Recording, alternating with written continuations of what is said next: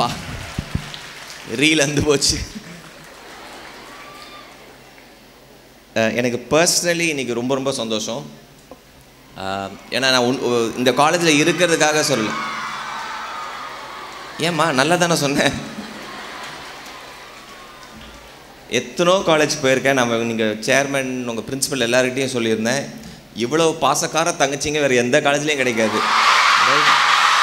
And I tell you why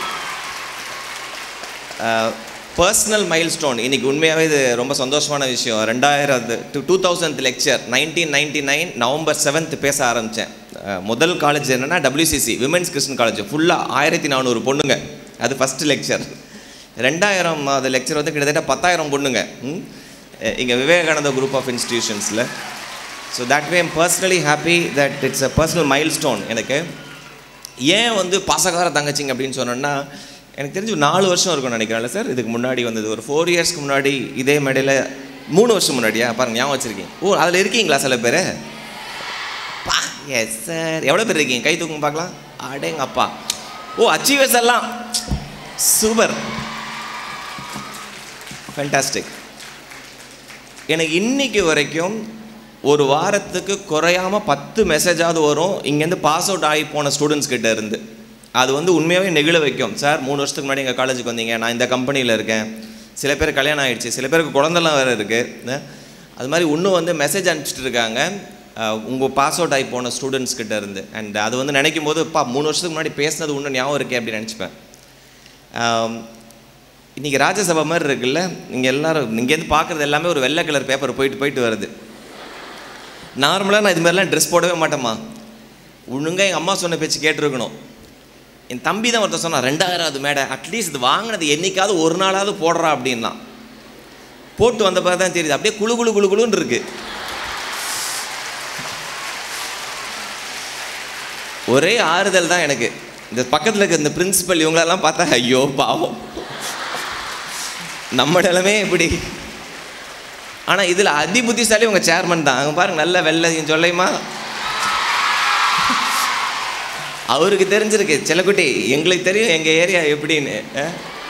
அவர் பாருங்கள் அவர் மட்டும் பிரகாசமாக இருக்கார். மோடி ஜாக்கெட் ரெண்டு பேர் மீதி பேர் பிரின்சிபல் கருணாஸ் ஒரு படத்தில் சொல்லுவார்ல எங்கள் மம்மி அப்பயே சொல்லிச்சு இதெல்லாம் உங்களோடலாம் சேரக்கூடாது சேரக்கூடாதுன்னு. பட் மேலே உட்காந்துருக்கும்போது எனக்கு திடீர்னு நான் காலேஜ் படித்த ஞாபகம் வந்தது. ஏன்னா ரொம்ப நேரம் உட்காந்துருந்தோம் இல்லையா? அங்கே காலேஜ் படிக்கும் போதெல்லாம் எங்கள் காலேஜில் வந்து லோயலாவில் படித்தேன் நான். லோயலா கல்லூரி சென்னை. நல்ல காலேஜ் தான்.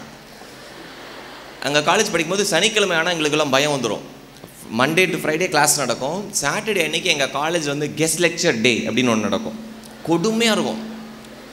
அன்றைக்கி எப்படின்னா ஏசி ஹால் கிடையாது எங்கள் காலேஜில் அட்லீஸ்ட் என் டிபார்ட்மெண்ட்டில் ஒரு அறுபது பேரை பிடிச்சி உள்ளே போட்டுருவாங்க காலேஜுக்குள்ளே போட்டுட்டு அன்றைக்கி ஏன்னா ஒரு காலேஜில் நான் போய் பேசும்போது அப்படி தான் கேட்டேன். நான் பேசுகிறது கேட்குதா அப்படின்னு ஒரு பையன் எந்த சொன்னான். கேட்கல ஆனால் நீ பேசு பரவாயில்ல அப்படின்னா.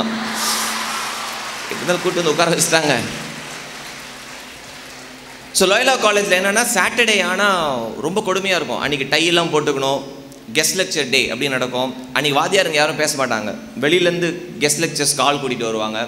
கூட்டிகிட்டு வர ஆள்லாம் எப்படின்னா vice president HR general manager marketing அப்படின்னு இருக்கும். குறையாமல் ஐம்பத்தஞ்சு வயசுக்கு மேலே இருக்கவங்க தான் எங்கள் காலேஜில் கூப்பிடுவாங்க பேசுகிறதுக்கு பேசுகிறவர் என்ன பண்ணுவார்? கண்டிப்பாக ஒரு லேப்டாப் எடுத்துகிட்டு வருவார் ஒரு பிபிடி எடுத்துகிட்டு வருவார். அந்த பிபிடியில் ஒன்றுமே புரியாது. ஏன்னா அவர் படித்து கரைச்சி குடிச்சு எல்லா விஷயத்தையும் எடுத்துகிட்டு வருவார். ஆனால் பேசுகிறது மாணவர்கள்கிட்ட பேசுகிறோன்றது மறந்துடுவார் அவர். பேச ஆரம்பிக்கிறதுக்கு முன்னாடி எங்கள் ஹெச்ஓடி வருவார் ஃபஸ்ட்டு உள்ள. இந்த பாருங்கடா.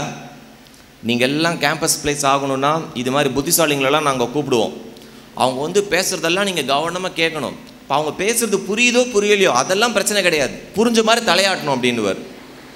அப்புறம் அசிஸ்டன்ட் ஹெச்ஓடின்னு ஒருத்தர் வருவார். ஹெச்ஓடி சொன்ன அதே விஷயத்தை இவர் வேறு மாதிரி சொல்லிட்டு போவார். கொஞ்சம் நம் கொஞ்சம் யங் ஏஜில் இருப்பார். இந்த பார் அவர் பேசுவார். அவர் பேசுறது ஒரு டூ ஹண்ட்ரட் ஃபீட் அவ்வளோ தான் போகும். ஆனால் நீ புரிஞ்ச மாதிரியே தலையாட்டணும்னு எங்கள் காலேஜில் எங்களுக்கு தலையாட்டுறது கூட எப்படின்னு சொல்லி கொடுத்துருக்காங்க. இப்போ பேசுகிறோன்னு வச்சுக்கோங்களேன். அப்படிலாம் சொல்லணும். எல்லாருக்கும் ஒரு நோட் பேட் கொடுத்துருப்பாங்க. அந்த நோட் பேடை நோட்ஸ் எழுதணும்னு இருக்கும். என்னத்த நோட்ஸ் எழுதுறது? இப்போ நினச்சி பாருங்களேன் இந்த மாற்றம் ஃபவுண்டேஷன் நான் ஏன் பேர் பேர் போட சொன்னேன்னா எங்கெல்லாம் இன்ஃபோசிஸ் அப்படின்னு சொல்கிறாங்களோ அங்கெல்லாம் நம்ம தமிழில் பேசணும்னு வச்சுக்கோங்களேன். ஐயோ பாரு இன்ஃபோஸில் வேலை செய்கிறாரு ஆனால் தமிழில் பேசுகிறாரு அப்படின்வாங்க தமிழில் பேசுகிறது வந்து ஒரு பெரிய விஷயமா இருக்குது. இப்போ நானும் நேராக வந்தோன்னே இப்படி பேசுகிறேன்னு வச்சுக்கோங்களேன் இப்போ இங்கே நிறைய பேர் இங்கிலீஷில் பேசுகிறாங்களா அதேமாரி நானும் வந்து. You know the latest business process re engineering that we did Infosys technology அந்த random digitize programming technology programming generated one point five million dollars in revenue ஏதாவது புரிஞ்சுது? ஒன்றும் புரியல. ஆனால் எல்லாமே இங்கிலீஷு. இப்போ நானே பாருங்களேன் வாய்க்கு வந்து ஒரு நாலு வேர்டு சேர்த்து சொன்னேன். அப்படி ஒரு வேர்டே கிடையாது. ரேண்டம் டிஜிட்டைஸ்ட் ப்ரோக்ராமிங் டெக்னாலஜின்னு ஒரு வேர்டே கிடையாது. நீங்கள் கூகுள் பண்ணி பாருங்கள் எனக்கு இன்றைக்கி தோணு ஒரு நாலு வேர்டை சேர்த்து போட்டேன். ஆனால் எங்கள் காலேஜில் இப்படி வந்து பேசும்போதெல்லாம் என்ன நினச்சிட்டோம்? நாங்கள் அவங்களாம் புத்திசாலின்னு நினச்சிக்கிட்டோம். நம்ம கிளாஸ்லேயே பக்கத்துலேயே உட்காந்துருப்பான் வசூல் ராஜா படத்தில் ஒரு ஒரு கேரக்டர் வரும்ல சாம்பு மவனே அப்படின்வாங்களே ஒருத்தனை. பார்த்துருக்கீங்களா? கிளாஸ் நம்ம எல்லா கிளாஸ்லேயும் ஒன்று இருக்கும் அது மாதிரி. வாத்தியார் குட் மார்னிங் சொன்னால் கூட நோட்ஸ் எடுத்துக்கோம். சார் சார் குட் மார்னிங்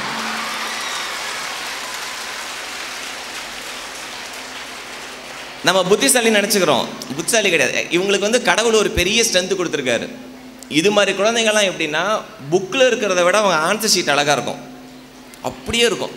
இப்போ என் ஃப்ரெண்டு ஒருத்தர் தான் எப்போ வாத்தியார் வந்து பேசினாலும் அதுமாதிரி கெஸ்ட் லெக்சர் வந்து பேசினாலும் ஃபஸ்ட்டு ரோவில் உட்காந்துருப்பான் ஷூ. எங்கள் காலேஜில் நடக்கிற ஒரே ஒரு நல்ல விஷயம் ஒரு லெக்சருக்கும் ஒன்னொரு லெக்சருக்கும் நடுவில் டீ கொடுப்பாங்க. வெளியில் பிரேக்குக்கு டீ கொடுப்பாங்க. அது எதுக்குன்னா நல்ல எண்ணத்துலலாம் இல்லை. டீ கொடுத்து அடித்து தெளிய வச்சு உள்ளே அனுப்புவாங்க. திருப்போ. அந்த டீ பிரேக்கில் தான் இந்த பையன் வந்து சொல்லுவான் என்கிட்ட. வாட் நாலேஜ் திஸ் கை ஹேஸ்ரா என்னம்மா பேசுகிறார்ல யார் இவர்? என்ன பேசணுன்னே புரியாமல் நாங்களெல்லாம் கண்ணை கட்டி காட்டில் விட்ட மாதிரியே இருக்கும். அதனால் ரொம்ப தெளிவாக இருக்கேன். என்ன திருப்பி ஒரு ரெண்டு மூணு நாலு வருஷம் கழிச்சு இதே காலேஜில் பார்த்தா அன்னைக்கு நீ தானடா வந்து பேசின? ஒன்றுமே புரியலல்ல நீ அப்படின்றதுக்காக அப்படி சொல்லிடக்கூடாதுன்றதுக்காக நான் சொல்ல வேண்டிய ஒரு மூணு நாலு பாயிண்ட்ஸ் தான். அது கட கட கட கடன்னு எவ்வளோ ஃபாஸ்ட்டாக சொல்லிட முடியுமோ சொல்லலாம். ஏன்னா உங்களுக்கு எல்லாம் அங்கே எவ்வளோ சூடாக இருக்குன்னு தெரியும். ஏன்னா இங்கே மோர் கொண்டு வந்து வச்சாங்க. மோர் குடிக்கலான்னு கை போகலான்னு நினச்சேன் நான். அப்போ அங்கேருந்து ஒரு சாரி கட்டின ஒரு பொண்ணு பக்கத்தில் இருக்க பொண்ணுக்கிட்ட சொல்கிறது லிப் ரீடிங் இங்கேருந்து பார்த்தேன். நீ என்னடி அது? உடனே இந்த பொண்ணு சொல்லுது மோர். அந்த பொண்ணு சொல்லுது நம்ம இங்கே சாவரம் வெயிலில். மோர். தங்கச்சிங்களா அந்த மோரை நான் பத்திரமா வச்சுட்டேன். கீழே இறங்கி பிறகு போட போட பிறகு குடிச்சிக்கலாம். My first appreciation to Ashwini John Ashwini last year நான் வந்து ஜட்ஜாக இருந்தம்மா அதே காம்படிஷனுக்கு right I seriously missed speaking you this time but I heard that you spoke really really well brilliant you have an amazing voice super voice right நல்லா பேசுங்க நிறைய பேசுங்க. இதே காலேஜில் இதே மாதிரி ஒரு பெரிய அச்சீவர்ஸ் டேக்கு சீஃப் கெஸ்ட்டாக வந்து பேசுங்க.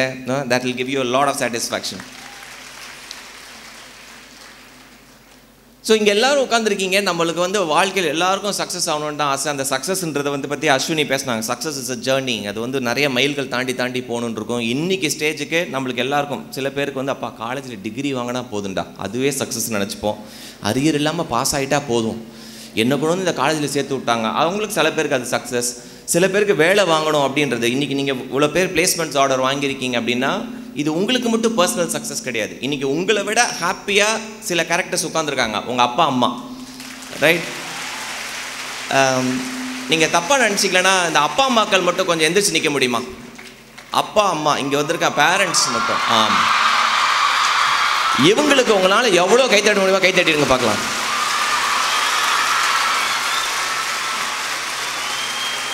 நல்லா இன்னும் தட்டலாமே. சூப்பர் தேங்க்யூ ஏன் சொல்கிறேன் தெரியுமா? இன்னைக்கு இது எனக்கு தெரிஞ்சு உண்மையான அச்சீவர்ஸ் அவங்க தான் கரெக்ட் தானே? அதனால் தேங்க்ஸ்மா தேங்க்ஸ் உட்காருங்க. ஏன்னா அப்பா அம்மாக்கள் இந்த ரெண்டு ஜீவன்கள் தான் எவ்வளோ கஷ்டப்பட்டாங்கன்றது உங்ககிட்ட காமிச்சிருக்கவே மாட்டாங்க. அம்மா கிட்ட போய் கேட்பீங்க ஐநூறுரூவா வேணுமா? காலேஜில் புக்கு வாங்கணும் இது வாங்கணும் அது வாங்கணும்னு. அம்மா கிட்ட மொத்தமாக ஐநூறுரூவா தான் இருந்திருக்கும் அன்றைக்கி ஆனால் உங்ககிட்ட ஐயாயிரரூவா இருக்கிற மாதிரி ஐநூறுரூவா எடுத்து கொடுத்துருவாங்க. கஷ்டத்தை காமிச்சிருக்கவே மாட்டாங்க. பசிக்குது அப்படின்னு போய் கேட்போம். தோசை செஞ்சு செஞ்சு கொடுப்பாங்க. முதல்ல ரவை தோசை வரும். சாரி முதல்ல ஆர்டினரி தோசை வரும். அப்புறம் கோதுமை தோசை வரும். அப்புறம் ரவை தோசை வரும். ஏன்னா மாவு தீந்துருச்சு. உள்ளே எதையோ போட்டு கிண்டி கிண்டி கிண்டி தோசை வந்துகிட்டே இருக்குது நம்மளுக்கு பசிக்குது. உங்களுக்கு பசிக்குது. உங்கள் தம்பிக்கு பசிக்குது. உங்கள் அண்ணனுக்கு பசிக்குது. சாப்பிட்டுட்டே இருக்காங்க. நம்ம என்றைக்கும் போய் செக் பண்ணதே கிடையாது. அம்மா கிட்ட அம்மா நீ சாப்பிட்டியா? அப்படின்னு. அது மாதிரி உன்னத ஜீவன் தான் அம்மா. இந்த அப்பான்றது பாவப்பட்ட கேரக்டர் ஏன்னா இந்த அப்பாக்களுக்கு வந்து பாதி நேரம் வெளியில் வேலை எவன் எவன்கிட்டயோ பேச்சு வாங்கணும் ஆஃபீஸில் வேலை செஞ்சால் பிஸ்னஸில் கடன் இருக்கும் அது இருக்கும் இது இருக்கும். பொண்ணு அதுவும் அந்த அப்பாவுக்கும் பொண்ணுக்கும் இருக்க ரிலேஷன்ஷிப் வந்து பயங்கர ஸ்பெஷல் இல்லை? அது பயங்கர ஸ்பெஷல் பொண்ணை வந்து மட்டும் ராணி மாதிரி வச்சுப்பாங்க அப்பாக்கள். ஆனால் என்றைக்குமே அவங்க படுற கஷ்டத்தை உங்ககிட்ட காமிச்சிக்கிட்டதே கிடையாது. அதனால் இன்றைக்கி நீங்கள் சந்தோஷமாக இருக்கிறத விட அவங்க தான் பயங்கர சந்தோஷமாக இருப்பாங்க. அதனால தான் அவங்கள வந்து ஃபஸ்ட்டு ஆனர் பண்ணணும்னு நினச்சேன் நான். So hats off all the parents பல பேருக்கு வந்து காலேஜுக்குள்ளே போகணுன்ற அந்த வாய்ப்பே கிடச்சிருக்காது. இல்லை?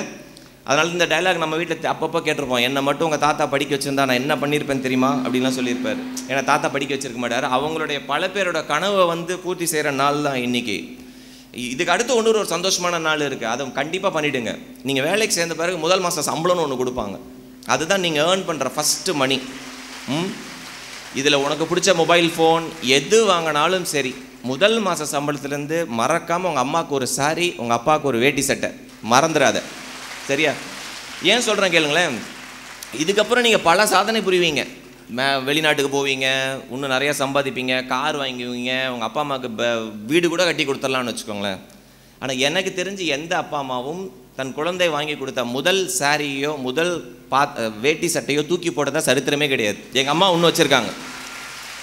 ரெண்டாயிரம் ரூபாய்க்கு நான் வாங்கி கொடுத்த மைசூர் சில்க் saree இன்னும் பத்திரமா இருக்குது மற்ற சாரீலாம் பாத்திரம் கடைக்கு போகுது யார் யாருக்கோ டொனேஷன் போகுது. இந்த ஒரு saree மட்டும் விடவே மாட்டாங்க. எங்கள் அப்பாவுக்கு நான் வாங்கி கொடுத்த சட்டை நஞ்சு போய் பிஞ்சு போயிருக்கு. அது பத்திரமா வச்சுருக்காரு. தொடவே விட மாட்டார். அவரை பொறுத்த வரைக்கும் என் சன்னோட ஃபஸ்ட்டு மந்த் சேலரியிலேருந்து வந்தது அது. அதனால் அது ஒன்று ஒரு ஸ்பெஷல் மூமெண்ட் ரைட் ஸோ இங்கே இருக்க அச்சீவர்ஸ் எல்லாருக்கும் என்னுடைய வாழ்த்துக்கள். என்னென்னா இது உங்களோட தனிப்பட்ட அச்சீவ்மெண்ட் கிடையாது. உங்களை பார்க்குற உங்களுடைய சிஸ்டர்ஸ் இருக்காங்க பாருங்கள் மற்றவங்கலாம் செகண்ட் இயர் தேர்ட் இயர் இவங்கெல்லாம் இருக்காங்க. இவங்களுக்கெல்லாம் இது மிகப்பெரிய மோட்டிவேஷனாக இருக்கும். மிகப்பெரிய மோட்டிவேஷனாக இருக்கும். எதுக்கு சொல்கிறேன்னா நம்ம வாழ்க்கையில் நம்மளுக்கு எல்லாமே இருந்தாலும் one of the most important competency எதுன்னு பார்த்தீங்கன்னா ஆட்டிடியூட் அப்படின்றாங்க. இது இருந்தால் வாழ்க்கையில் எதை வேணால் சாதிச்சிடலான்றாங்க. ஆட்டிடியூட் ஸ்கில் நாலேஜ் இந்த மூணு விஷயம் தான் நம்ம திருப்பி திருப்பி சொல்கிறது ஸ்கில்ஸ் அண்ட் நாலேஜ் எங்கே கிடைக்கும்? காலேஜில் கிடைக்கும் லெபார்ட்டரியில் கிடைக்கும். பட் ஆட்டிடியூட்ன்ற ஒரு விஷயத்தை வந்து நம்ம சொல்லிக் கொடுக்குறதே கிடையாது. ஆட்டிடியூட்னா என்ன? At this given point in time நீ பாசிட்டிவாக திங்க் பண்ணுறியா நெகட்டிவாக திங்க் பண்ணுறியா அதான் ஆட்டிடியூட் இப்போ நம்மளில் வந்து எனக்கு என்ன மிகப்பெரிய வருத்தம் அப்படின்னா பல பெண் குழந்தைகள் படிக்கிற பெண் குழந்தைகளே ஸ்கூல் காலேஜ் போனவங்க பல பேரோட வாழ்க்கை எட்டு தெருவில் முடிஞ்சு போயிடுதுன்றாங்க. ஒரு சர்வே சொல்லுது. குறிப்பாக ரூரல் தமிழ்நாட்டில் இருக்கிற பெண் குழந்தைகள் எட்டே எட்டு தெருவில் அவங்க வாழ்க்கையே முடிஞ்சிடும் எப்படின்னு சொல்லட்டுமா? நீங்கள் குழந்தை பிறந்த உடனே உங்களுக்கு நீங்கள் நீங்கள் குழந்தையா இருக்கும்போது உங்கள் அப்பா அம்மா பார்ப்பாங்க வீட்டு பக்கத்துலேயே ஸ்கூல் இருக்குது. கொஞ்சம் தள்ளி போனால் நல்ல ஸ்கூல் இருக்கும். பக்கத்துலேயே இருக்கட்டும் அப்படின்னு ஒரு சுமார் ஸ்கூலில் படிச்சிருப்பீங்க. சரியா? ஸ்கூல் முடிஞ்சு காலேஜுக்கு போகிற டைம் நல்ல நல்ல காலேஜிலலாம் அட்மிஷன் கிடைக்கும். பட் ஏதோ ஒரு காலேஜில் படிக்கலாம் அப்படின்னு பல பெண் குழந்தைங்கள பக்கத்தில் இருக்க ஏதோ ஒரு காலேஜ் இதுவும் அண்ணா யூனிவர்சிட்டி காலேஜ் தானே.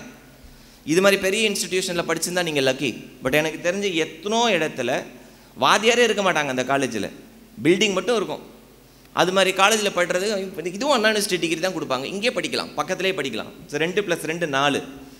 அந்த காலேஜ்லேயே சுமார் மூஞ்சி குமார் காலேஜ்லேயே நல்லா படித்து நல்ல வேலையும் கிடச்சிருச்சு. பெங்களூரில் வேலை சென்னையில் வேலை அப்படின்னா அங்கெல்லாம் போனால் பொம்பளை பிள்ளை கெட்டு போயிடும்.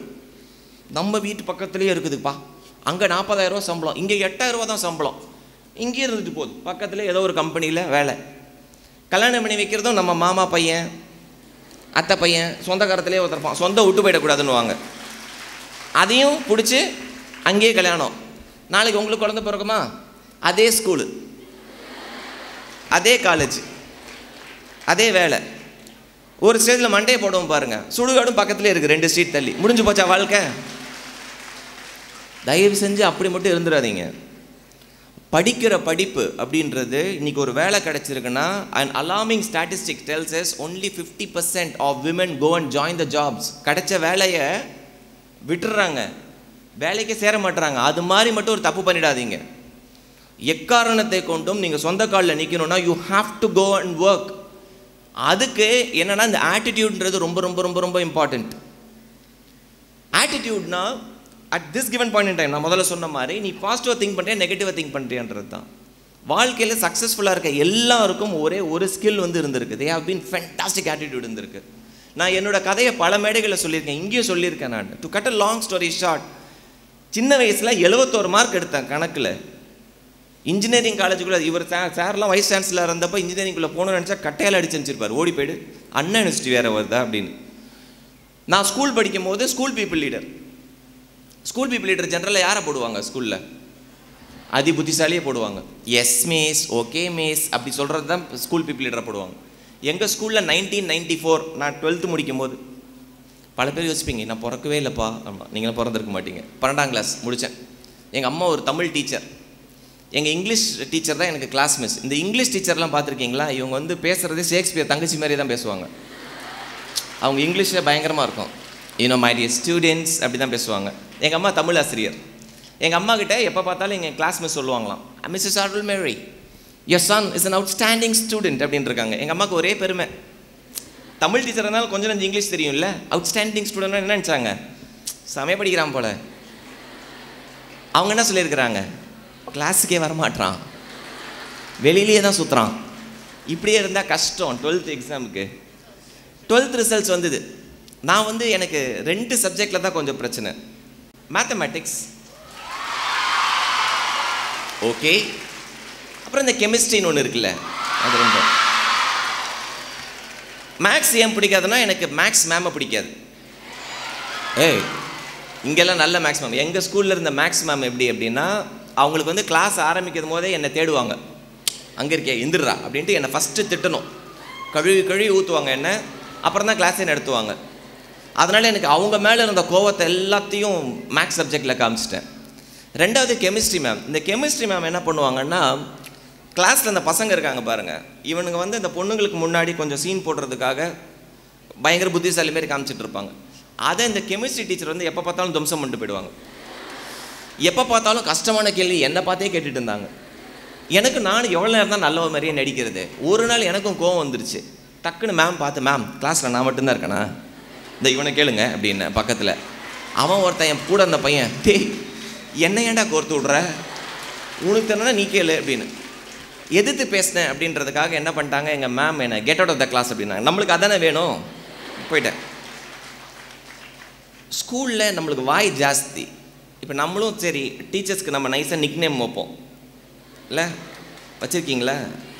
ஆமாம் உங்கள் வாத்தியாரும் வச்சுருப்பாங்க ஆனால் நல்லவங்க மாதிரி நடிப்பாங்க ரைட் நான் என்ன பண்ணேன் கரெக்டாக கிளாஸ் விட்டு வெளில போகும்போது என்னை வெளில அனுப்பிச்சிட்டாங்களேன்றதுக்காக ரொம்ப கோவத்தில் அந்த மேம்க்கு நான் வச்சது ஒரு தப்பான பேரை தான் வச்சுருக்கக்கூடாது தயவு செஞ்சு அப்படிலாம் வச்சிடாதீங்க அவங்க பானிடெயில் போட்டிருப்பாங்க. அதுக்கு நான் வச்சது வந்து சொன்னேன் மேம்க்கு வந்து கொத்தமல்லி கட்டுன்னு பேர் வச்சுருந்தேன். நான் சொன்னேன் கொத்தமல்லி கட்டு மேமுக்கு பார்த்தியா என்னை வெளில அனுப்பிச்சிட்டாங்க. அப்படின்னு சொன்ன பாருங்கள் ஃப்ரண்ட் ரோவில் இருந்த ஒரு பையன் அது கேட்டான். கேட்டு போய் மேம் கிட்ட சொல்லிட்டான் மேம் சுஜித் சேட் யுவர் கொத்தமல்லி கட்டு மேம் அப்படின்ட்டான். ஒரு வாரம் கிளாஸ்க்குள்ளே விடலை என்ன? ஏற்கனவே நான் கெமிஸ்ட்ரியில் அழகு. ஒரு வாரம் நீ கிளாஸ்க்குள்ளே வரக்கூடாது அப்படின்ட்டாங்க. இப்போ என் ஃப்ரெண்டு தான் வந்து சொன்னான் டேய் மேக்ஸில் லேப் இல்லை தப்பிச்சுப்பேன் ஆனால் கெமிஸ்ட்ரியில் லேப் இருக்குடா. அந்த மேம் கிட்ட தான் ஐம்பது மார்க் இருக்குது ஏதாவது வச்சு செஞ்சிட போகிறாங்க ஒன்று அப்படின்னா. என்னடா பண்ணலாண்ணா எப்படியாவது போய் காம்ப்ரமைஸ் ஆகிடு அப்படின்னா. என்ன பண்ணணும் அப்படின்னு கேட்டேன் நான். ஏதாவது சான்ஸ் பாடுறா அப்படின்னா. ஒரு நாள் இந்த மாதிரி பேட்மிண்டன் கோர்ட்டில் பேட்மிண்டன் விளையாண்டுட்டு இருந்தேன். ஒரு வயசான ஒரு அங்கிள் வந்தார். ஃபுல் சொட்டத்தலை. இங்கேருந்து ஒயிட் கலர் ஹேர் தியாகராஜ பாகவதமே இருந்தார். வந்து ரொம்ப உரிமையோடு வந்து என்கிட்ட ஜெயலட்சுமியை பார்க்கணும் அப்படின்னார். ஜெயலட்சுமி யாருன்னா? எங்கள் கெமிஸ்ட்ரி மேம் உடனே என் ஃப்ரெண்டு சொன்னால் கூட்டு போய் இன்ட்ரடியூஸ் பண்ணி வச்சுரு. பிரச்சனை சால்வ் அப்படின்னு நான் அவரை கூப்பிட்டு போனேன். செகண்ட் ஃப்ளோர் வரைக்கும் ஏன்னா மேம் பக்கத்து கிளாஸ் எடுத்துகிட்டு இருந்தாங்க எக்ஸ்கியூஸ் மீ மேம் அப்படின்னு yes ma'am your father has come to see you ma'am அப்படின்னு மேம் வந்து ஃபாதரா அப்படின்ட்டு வெளில வந்து பார்த்தாங்க. இடியட் தட்ஸ் மை ஹஸ்பண்ட் அப்படின்னாங்க. போச்சு. அவ்வளோ வயசானவர் இருந்தார்? அப்படின்ட்டு நான் போய் உணர்ச்சி பொங்க சொல்லிட்டேன். அதனால் இருந்த கொஞ்ச நஞ்ச ரிலேஷன்ஷிப்பும் போச்சு. பிப்ரவரி இருபத்தி ஏழு ஆயிரத்தி தொள்ளாயிரத்தி தொண்ணூற்றி நான்காம் ஆண்டு என் வாழ்க்கையில் மறக்க முடியாத நாள். ஏன்னா அன்றைக்கி தான் ஐயா முதல் தடவை என்னோடய மேக்ஸ் புக்கை திறந்து பார்க்குறேன். மார்ச் பன்னெண்டாம் தேதி பப்ளிக் எக்ஸாம் இப்போ நம்ம வீட்லலாம் பாருங்கள் இந்த பப்ளிக் எக்ஸாம்னா அப்படியே அவ்வளோ பயமுறுத்துவாங்க. பப்ளிக் எக்ஸாம் ஐயோ பப்ளிக் எக்ஸாம் பப்ளிக் எக்ஸாம்னுவாங்க நம்ம எக்ஸாம் முடிச்சுட்டு என்ன சொன்னோம்? நாங்கள் பார்க்காத பப்ளிக் எக்ஸாம் நம்ம அம்மா ஊரெல்லாம் சொல்லியிருக்கோம். என் பையன் தான் ஸ்டேட் ரேங்க் என்ன கேட்டால் சொன்னேன் நீ பாட்டு சொல்லிட்ட. நம்ம தான் சூப்பராக பிளாக்மெயில் பண்ணுவாங்க பார்த்தீங்களா இமோஷனல் பிளாக்மெயில் நம்ம ஊரில் மட்டும்தான் இந்த கொடுமை நடக்கும். இங்கேயும் ஆந்திராலையும் மட்டும்தான். டுவெல்த் ஸ்டாண்டர்ட் எழுதுகிற பையனோட வீட்டில் பார்த்தீங்கன்னா ஒரு மயான அமைதி இருக்கும். யாரும் பேசிக்க மாட்டாங்க.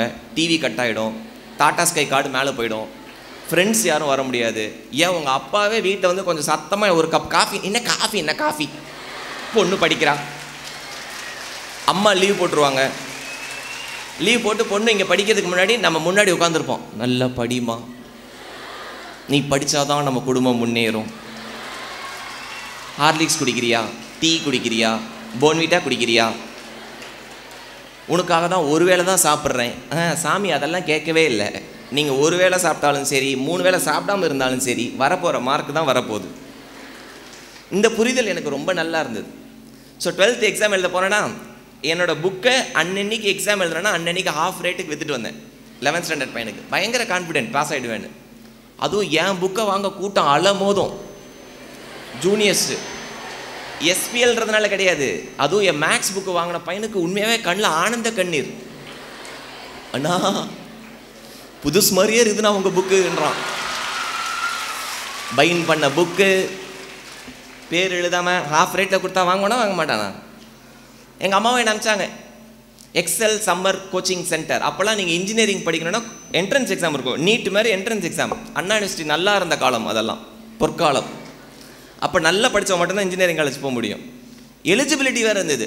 நூற்றி இருபது மார்க் இருக்கணும் மேக்ஸ் ஃபிசிக்ஸ் கெமிஸ்ட்ரியில் கம்மியாக இருந்தால் எலிஜிபிளே கிடையாது. நீ எக்ஸாம் எழுத முடியாது. எங்கள் அம்மா என்ன கோச்சிங் சென்டர் அனுப்பிச்சாங்க. இன்ஜினியரிங் என்ட்ரன்ஸ் எக்ஸாமில் எனக்கு ரொம்ப பிடிச்சது என்னென்னா மல்டிபிள் சாய்ஸ் தான். நாலு ஆப்ஷன் கொடுப்பாங்க நீ கலர் அடிக்கணும். நம்மளுக்கு தான் மேக்ஸில் எவ்வளோ போகிற போதுன்னு தெரியுமே. முதல் நாள் போய் கலர் அடித்தேன் ஏ ஏ ஏ ஏ ஏ ஏ ஏன்னு ஐம்பதுக்கு இருபத்தி ரெண்டு வந்துச்சு. அடுத்த நாள் B B B B B பின்னு அடித்தேன் அப்புறம் சி அப்புறம் டி நான் தான் கிளாஸ்லேயே ஃபாஸ்ட்டாக முடிப்பேன் எல்லாத்துலேயும். அஞ்சாவது நாள் பார்த்தேன் ஏதாவது ஒரு டிசைன் போடுவோம் அப்படின்ட்டு A B C D D C B A அப்புறம் A B A B C D C D அப்படின்னு போட்டு போட்டு வந்தேன். இது மாதிரி பர்மிட்டேஷன் காம்படிஷன்லேயே நான் நாற்பத்தி ரெண்டு வாங்கிட்டேன் ஐம்பதுக்கு. எங்கள் அம்மா வந்து டிவியில் வர சரண்யா அம்மா கேரக்டர் மாதிரி. அவங்களுக்கு ரெண்டு முகம் இருக்குது ஒன்று ஃபீமேல் விஜயகாந்த் நான் பேர் வச்சுருக்கேன். பொம்பளை விஜயகாந்த். நல்ல வெள்ளை வெள்ளையர்னு இருப்பாங்க எங்கள் அம்மா. கோவம் வந்ததுன்னா விஜயகாந்த் சார் மாதிரி கண்டுவா சோப்பாடு ஏய் அப்படின்ற மாதிரி இருப்பாங்க. இன்னொரு சைடு வந்து சரண்யா மாதிரி. அதாவது அவ்வளோ பாசம். எங்கள் அம்மா இன்றைக்கி நினச்சிருக்கான் ஆணி போய் ஆவணி வந்தால் பையன் டாப்பாக வருவானுவாங்கல்ல அதுமாதிரி எப்படியாவதுரா எப்படியாவதுடா நாற்பத்தி ரெண்டுலாம் பத்தாவதுரா நீ நாற்பத்தி ஒம்பது வாங்கினா தான் உனக்கு டோட் ஒன் காலேஜில் சீட்டு கிடைக்கும். எங்கள் அம்மாவுக்கு என்ன டோட்டா நான் எப்படியாவது அண்ணா படிக்கணுன்றது தான் எங்கள் அம்மாவோட பெரிய கனவு.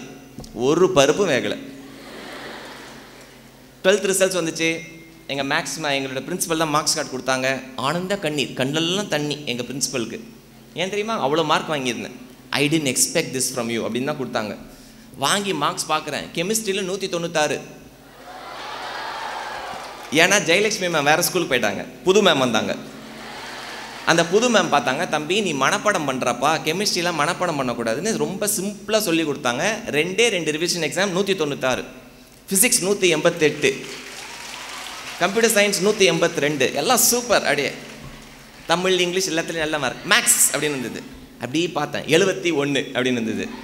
அப்பா நூற்றுக்கு இல்லை அப்படின்னு. அங்கே தான் தப்பு. நூற்றுக்கு இல்லை இரநூறுக்கு எழுபத்தி ஒன்று ஜீரோ செவன் ஒன் அப்படின்னு போட்டிருந்தது. Out of two hundred just pass தயவு செஞ்சு இந்த வீடியோ வெளில விட்டுறாதீங்க. ஏற்கனவே ஒரு மாதிரி ஒரு வீடியோ சுற்றிக்கிட்டு இருக்குது. ம். எழுபத்தோரு மார்க் வாங்கினோன்னே எங்கள் பிரின்சிபலால் தாங்கவே முடியல. எப்படி வாங்கியிருப்பான் இவன் அப்படின்னு.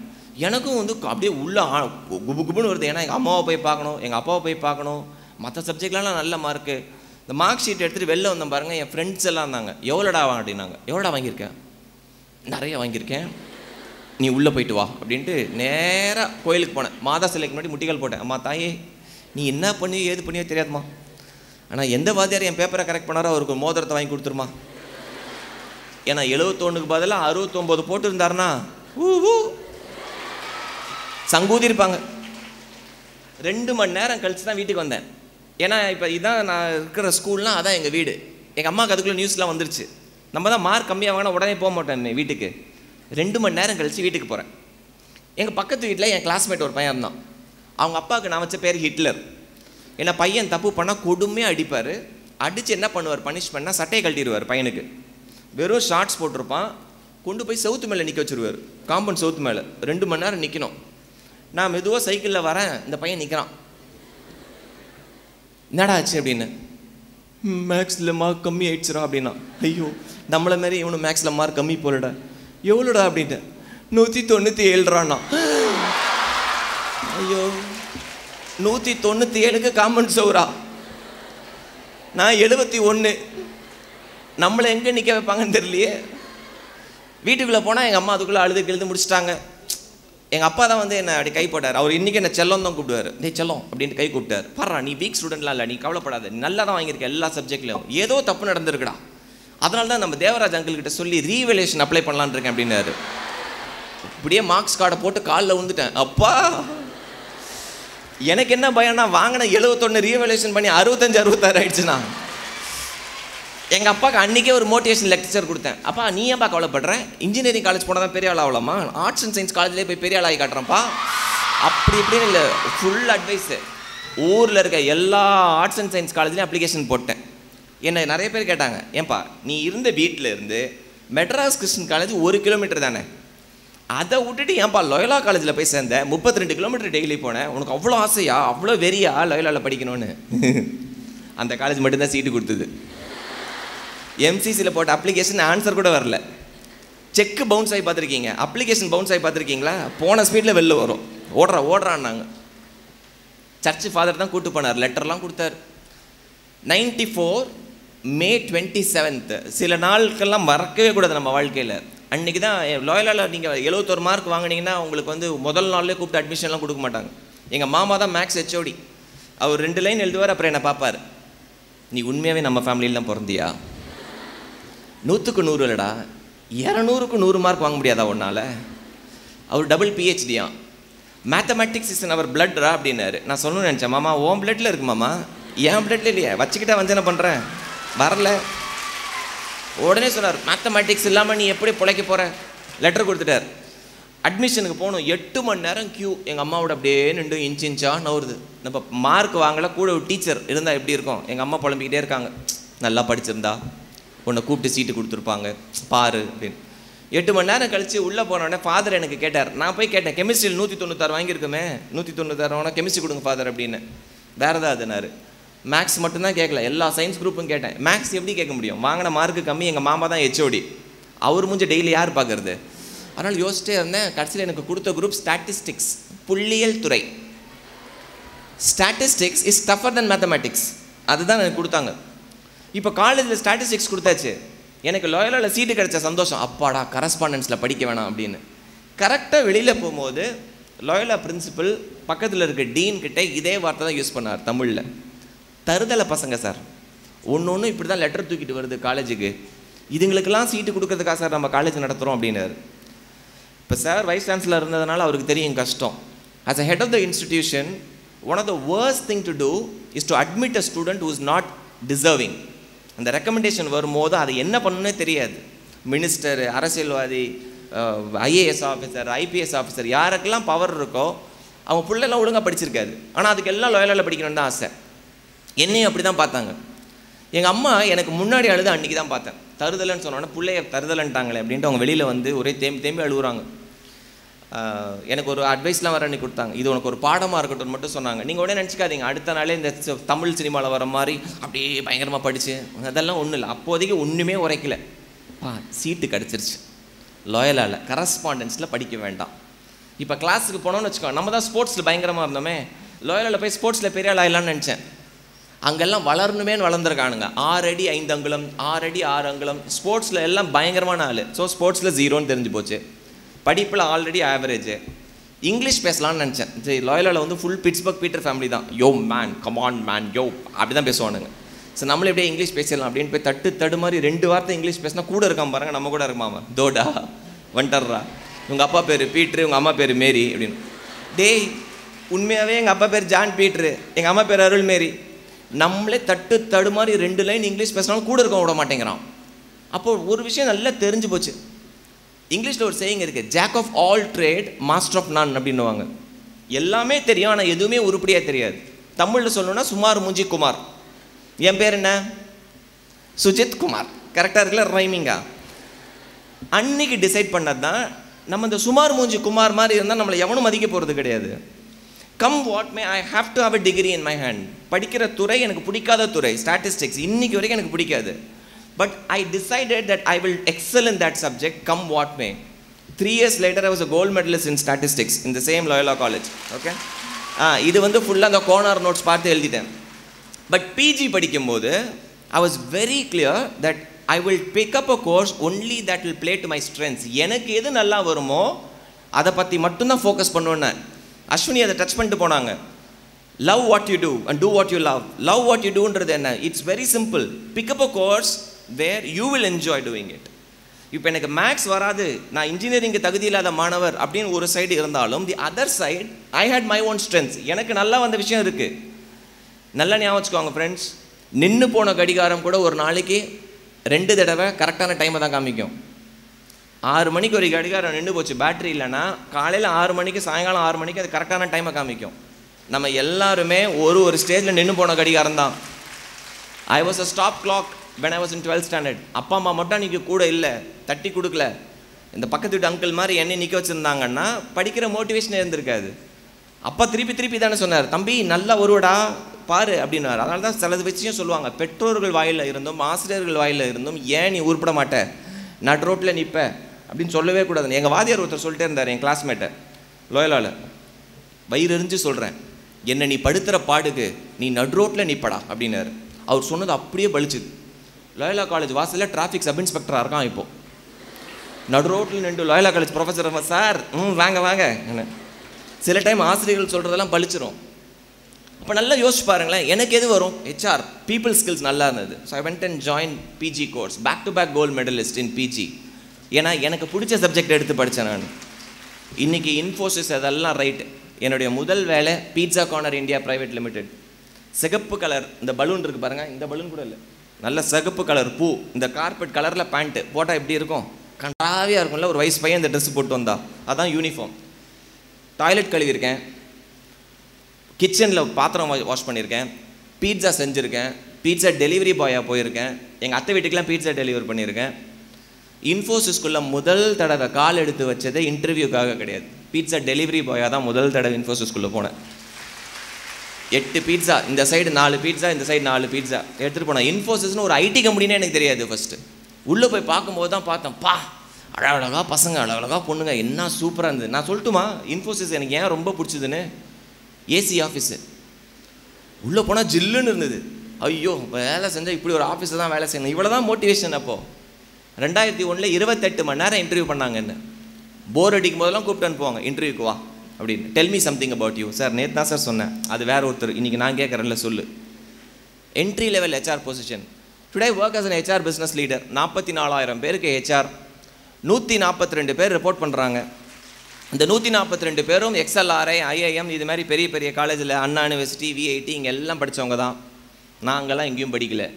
Life comes a full circle my dear friends if you have a fantastic attitude towards life fantastic candidate பொறியியல் கல்லூரி மாணவர் தகுதி இல்லாத மாணவர் இன்றைக்கி தமிழ்நாட்டில் இருக்கும் ஐநூற்றி எண்பத்தி மூன்று பொறியியல் கல்லூரியில் ஆறு பொறியியல் கல்லூரியை ரிப்பன் கட் பண்ணி திறந்து வச்சுருக்கேன். இந்த ரெண்டாயிரம் மேடைகளில் பேசுனதில் நூற்றி இருபத்தி ஏழு தடவை அந்த பச்சை கலர் கவுன் போட்டு டிகிரி கொடுத்துருக்கேன். Life comes a full circle நீங்கள் எத்தனை அவார்டு வாங்கினாலும் இப்போ அதில் படித்தாங்கள்ல லாஸ்ட்டாக அந்த பயோடேட்டா நான் தான் எழுதினேன். அதில் நிறைய அவார்ட்ஸ் படித்தாங்கல்ல அதில் ஒரு அவார்டு எனக்கு ரொம்ப ரொம்ப ஸ்பெஷல் அக்டோபர் ரெண்டு எவ்ரி இயர் லோயலாவில் லோயலா அலுமினை காங்கிரஸ்னு ஒரு ஈவெண்ட் நடக்கும். இது எப்படின்னா நான் ஆயிரத்தி தொள்ளாயிரத்தி நாற்பத்தேழு நாற்பத்தெட்டில் படித்தவங்களெல்லாம் வர சொல்லுவாங்க. தாத்தா பாட்டிங்கெல்லாம் வருவாங்க. ஒரு காலேஜுக்கு வருவாங்க அலுமினை டேன்னு அக்டோபர் ரெண்டு ரெண்டாயிரத்தி பதினஞ்சு நாலு பேருக்கு டிஸ்டிங்கிஷ் அலுமினை ஆஃப் லாயலான்னு ஒரு அவார்டு கொடுத்தாங்க. யார் அந்த நாலு பேர்? முதல் நபர் former RBI governor and Andhra Pradesh governor Rangarajan sir அவர் தான் ஃபஸ்ட்டு ரெசிபியன்ட் ரெண்டாவது recipient doctor Sudhakar currently Jammu and காஷ்மீரோட chief justice high court chief justice மூணாவது ஐஓபி பேங்கோட chairman and managing director Koteeswar Rao அவர் தான் மூணாவது டிஸ்டிங்கிஷ் அலுமினை நாலாவது யாரை தருதலைன்னு சொன்னாரோ அதே தருதலைக்கு தான் டிஸ்டிங்கிஷ் அலுமினை அவார்டு கொடுத்தாங்க. லோயலால் இது கொடுத்தப்ப அந்த பிரின்சிபல் இருந்தார். இந்த கதையை பல மேடைகளை சொன்னதுனால இந்த பிரின்சிபல் என்ன அப்பப்போ கூப்பிட்டு கேட்பாரு. டே ஏன்டா என்ன மானத்தை வாங்குறேன் நான் தான் தப்பு பண்ணிட்டேன்னு சொல்கிறேனேடா அப்படின்னு.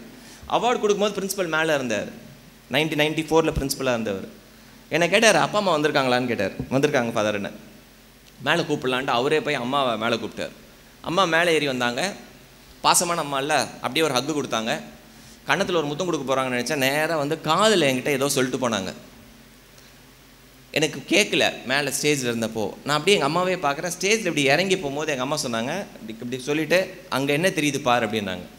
இப்போ கிட்டத்தட்ட அந்த ஹால் வந்து இங்கேருந்து உங்கள் மெயின் என்ட்ரன்ஸ் இருக்கு இல்லையா? அந்த இது அதுக்கிட்ட என்ன தெரியுது பாருன்றாங்க. ஸ்டேஜில் நிற்கிறேன் யோசிச்சு யோசி பார்த்தா எனக்கு ஒன்றுமே தோணலை. திருப்பி கேட்குறேன் எங்கள் அம்மா கிட்ட மேலே ஸ்டேஜில் உட்காந்துட்டு என்னம்மா? அப்படின்னு. அங்கே பார் அப்படின்னாங்க.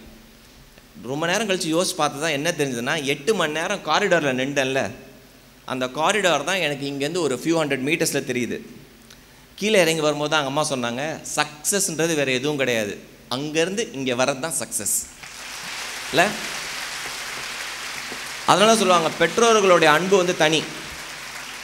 கீழே இறங்கும்போது எங்கள் அம்மா கேட்குறாங்க என்கிட்ட ஃபஸ்ட்டு கேட்ட கேள்வி அவார்டெல்லாம் வாங்கிட்டு அம்மா கிளம்பலாமா? அப்படின்னு. அம்மா சொன்னாங்க தம்பி ஃபோன் வச்சுருக்கல அப்படின்னு. நான் வச்சுருக்கேம்மா.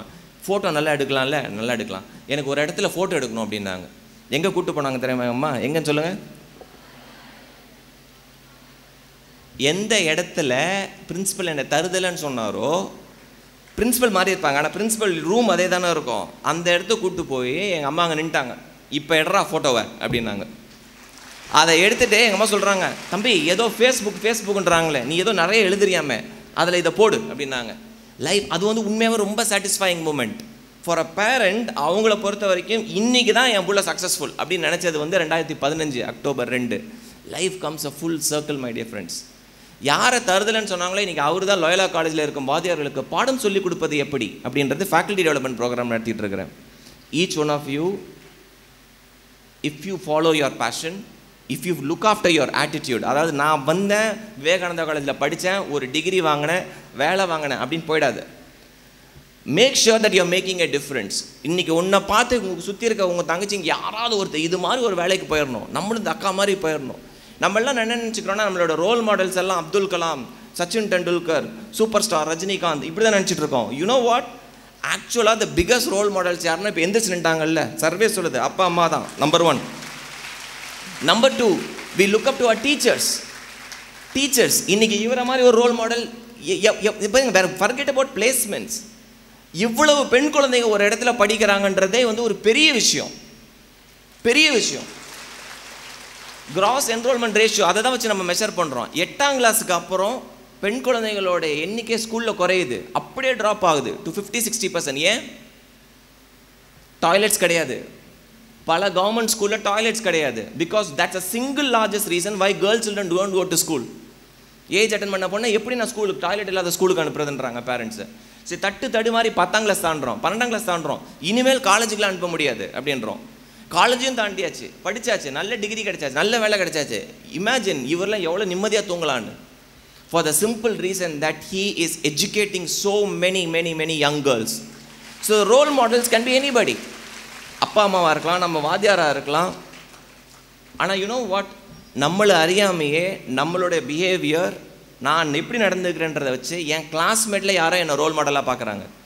நான் சீனியர் ஸ்டூடெண்ட் அந்த அக்கா மாதிரி இருக்கணும். Why when Ashwini came year எவ்வளோ பேர் எவ்வளோ சூப்பராக கை தட்டுறீங்க?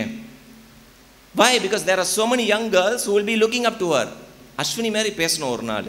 அஸ்வினி மாதிரி ஒரு நாள் ஸ்டேஜுக்கு மேலே வரணும். So the way you conduct yourself you are a role model to many many people right so attitude is ரொம்ப ரொம்ப important my dear friends second communication skills இதை கார்ப்பரேட்டுக்குள்ளே போகிற கேப்ஜெமினாய் டிசிஎஸ் விஸ் இன்ஃபோசிஸ் விப்ரோ இங்கே நீ போகும்போது தமிழ்நாட்டிலேருந்து இருக்கவங்க மட்டும் இருக்க மாட்டாங்க. எல்லா ஸ்டேட்லேருந்து இருப்பாங்க. Because these company goes and hires people from all walks of life Jammu and காஷ்மீர்லேருந்து அஸ்ஸாம்லேருந்து மகாராஷ்டிராலேருந்து எல்லாரும் இருப்பாங்க. நீ அங்கே போய் நீ தமிழ்லேயே பேசிகிட்டு இருக்க முடியாது. தமிழ் எங்கள் பேச்சு தமிழ் எங்கள் மூச்சுன்னு சொன்ன அரசியல்வாதி பையன் எல்லாமே கான்வென்ட் ஸ்கூலில் தான் படிச்சிருக்கான். நம்ம ஊரில் மட்டும்தான் தமிழில் பேசினா ஃபைன் அப்படின்லாம் வச்சுருக்காங்க ஸ்கூலில் தாய்மொழி மாதிரி தமிழ் மாதிரி ஒரு மொழி கிடையாது. சான்ஸே கிடையாது. அது நல்லா படிச்சுக்கோ. ஏன்னா எங்கள் ஸ்கூலில் அதிகமான ஃபைன் கட்டினது யாருன்னா நான் தான். எங்கள் ஸ்கூலில் ஒரு ரூல் வச்சுருந்தாங்க. ஐம்பது காசு கட்டணும். தமிழ் வேர்டு யூஸ் பண்ணால் ஒரு தமிழ் வேர்டு நீ யூஸ் பண்ணனா ஃபிஃப்டி பைசா ஃபைன் எங்கள் அம்மா ஒரு நாளைக்கு கொடுக்குறதே ஐம்பது பைசா தான். அதை நான் தான் மேக்ஸிமம் கட்டியிருக்கேன். கிளாஸில் இந்த ஃபைனாக கலெக்ட் பண்ணி சாக் பீஸு டஸ்டர்லாம் வாங்குவாங்க எங்கள் ஸ்கூலில். இப்போ என் கூடயே ஒருத்தன் சுற்றிக்கிட்டு இருப்பான். இந்த மேம் கிட்ட நல்ல பேர் வாங்குறதுக்குன்னே இருப்பான்ல அவன் இங்கிலீஷே கருண கொடூரமாக இருக்கும். அவன் வந்து கேட்பான் என்கிட்ட டுடே வாட்ரா லஞ்ச் இதுதான் இங்கிலீஷை வந்து. டுடே வாட்ரா லஞ்சு நான் ஐயோ அப்படின்னு பார்த்து ஒயிட் ரைஸ் அப்படின்னு. Okay okay then then then அப்படின்வான் then then தென்னா குழம்பு என்ன எடுத்துகிட்டு வந்திருக்கேன்னு சொல்லணும். அப்படியே லஞ்ச் பாக்ஸை பார்த்தா ரசம் இருக்கும். எனக்கு அப்போ வந்து ரசம் இங்கிலீஷ்லேயும் ரசம்னு சொல்ல தெரியாது. ரசத்துக்கு இங்கிலீஷில் வேறு ஏதோ நினச்சிக்கிட்டேன். ஐயோ ரசம்னு சொன்னால் ஐம்பது காசு போயிடுமே அப்படின்ட்டு பெப்பர் வாட்டர் அப்படின்னேன். Okay okay. Side dish what அப்படின்னா சைடிஷ் நம்ம எதாவது சொல்லணும்ல அப்படியே எடுத்து பார்த்தேன் முட்டை பொடி மாசு எங்கள் அம்மா பண்ணி வச்சுருக்காங்க. இப்போ தெரியுது இங்கிலீஷில் ஸ்க்ராம்பிள்டு எக்ஸ் அப்படின்னு. இப்போ அந்த ஐம்பது காசை பாதுகாத்துக்கணும் நம்ம. இந்த ஐம்பது காசு விட்டா ஒன்றும் பண்ண முடியாது. அப்போது நம்மளை அறியாமே கம்யூனிகேஷன் வந்துடும் எக்கு சக்க சக்க சக்க சக்க சக் அப்படின்னு. இப்போ நான் சொல்கிறேன் சக்க சக்க சக்க சக் இங்கிலீஷா தமிழா இந்தியா நீயே கண்டுபிடி. அப்பாடா ஐம்பது காசு கிடச்சிச்சுரா அப்படின்னு. இவ்வளோ தான் நம்ம இங்கிலீஷு. இப்போ நம்ம பேசுகிற இங்கிலீஷ்லாம் காது கொடுத்தே கேட்க முடியாது. அதுவும் கேர்ள்ஸ் நீங்கள் பேசும்போது பார்த்துருக்கீங்களா? இப்படி தான் வரும். ஏய் வாட்பா ஏய் கம்பா ஏய் பஸ் கம்மிங்கா கோயிங்கா கம்மிங்கா கோயிங்காவா? இது இங்கிலீஷா? யூ நோ நோ எழுதி பாருங்க. ஷேக்ஸ்பியர்லாம் இப்போ இருந்தாரா? செத்துருவார். யூ நோ நோ அப்படின்னா என்ன அர்த்தம்? உனக்கு தெரியும்ல அப்படின்றது தான் நம்ம யூ நோ நோ வாட்பா இதான் நம்மளுக்கு தெரிஞ்ச இங்கிலீஷு. பட் நான் என்ன தெரியுமா சொல்கிறேன் தட்டு தடு மாதிரி பேசிடு அசிங்கப்பட்டுரு. பரவாயில்ல. கிளாஸ் ஃப்ரெண்ட்ஸு கூட அசிங்கப்பட்டுரு. But when you go to a corporate communication becomes a deal breaker உன் கிளைண்ட் இன்டர்வியூஸ்னுவாங்க யூஎஸ் போகிறதுக்கு கிளைண்ட் இன்டர்வியூஸ்னுவான் அவன் ஃபுல்லாக இங்கிலீஷ் தான் பேசுவான். புரியவே புரியாது. ஆ, ஐயோ. என்னம்மா பேசுகிறாங்க பாடுறான் அதுவும் இந்த அமெரிக்கன் இங்கிலீஷ் கூட பரவாயில்ல. ஆஸ்திரேலியன் இங்கிலீஷ் இருக்குது பாருங்க. அது ரொம்ப கொடுமை. என் ஃப்ரெண்டோட பெரியப்பா ஆஸ்திரேலியாவில் போனார். அங்கே ஹார்ட் அட்டாக் வந்துருச்சு அவருக்கு. மேசிவ் ஹார்ட் அட்டாக் உண்மையாகவே ஹாஸ்பிட்டல் அட்மிட் ஆகிட்டார் அவரை ரீகூப் பண்ணி அன்னைக்கு டிஸ்சார்ஜ் டிஸ்சார்ஜ் அன்னைக்கு ஆஸ்திரேலியன் டாக்டர் வந்து இப்படி இந்த போர்டு வச்சுருப்பாங்கல்ல அது இது மாதிரி எடுத்து பார்த்துருக்காரு. Mister Ramachandran you are going to die அப்படின்னாரு. நம்மால் என்னடா டே இப்போ தானடா எல்லாம் பண்ணீங்க அப்படின்னு இவருக்கு அப்படியே doctor no no I said you are going to die அப்படின்னு இருக்கிறாரு. அப்போ கூட இருந்த அவங்களோட பையன் சொல்லியிருக்கான் அவருக்கு பிபிலாம் ஏறிட்டு இருக்குது. டு டாய் அப்படின்னா டு டே அவர் தான் அவங்க வந்து டு டாய் அப்படின்னு இருக்கிறாங்க. நம்ம டாக்டருக்கு வந்து ஐயோயோ இன்னைக்கு சாவ போகிறோமா இன்னைக்கே வா சங்கு.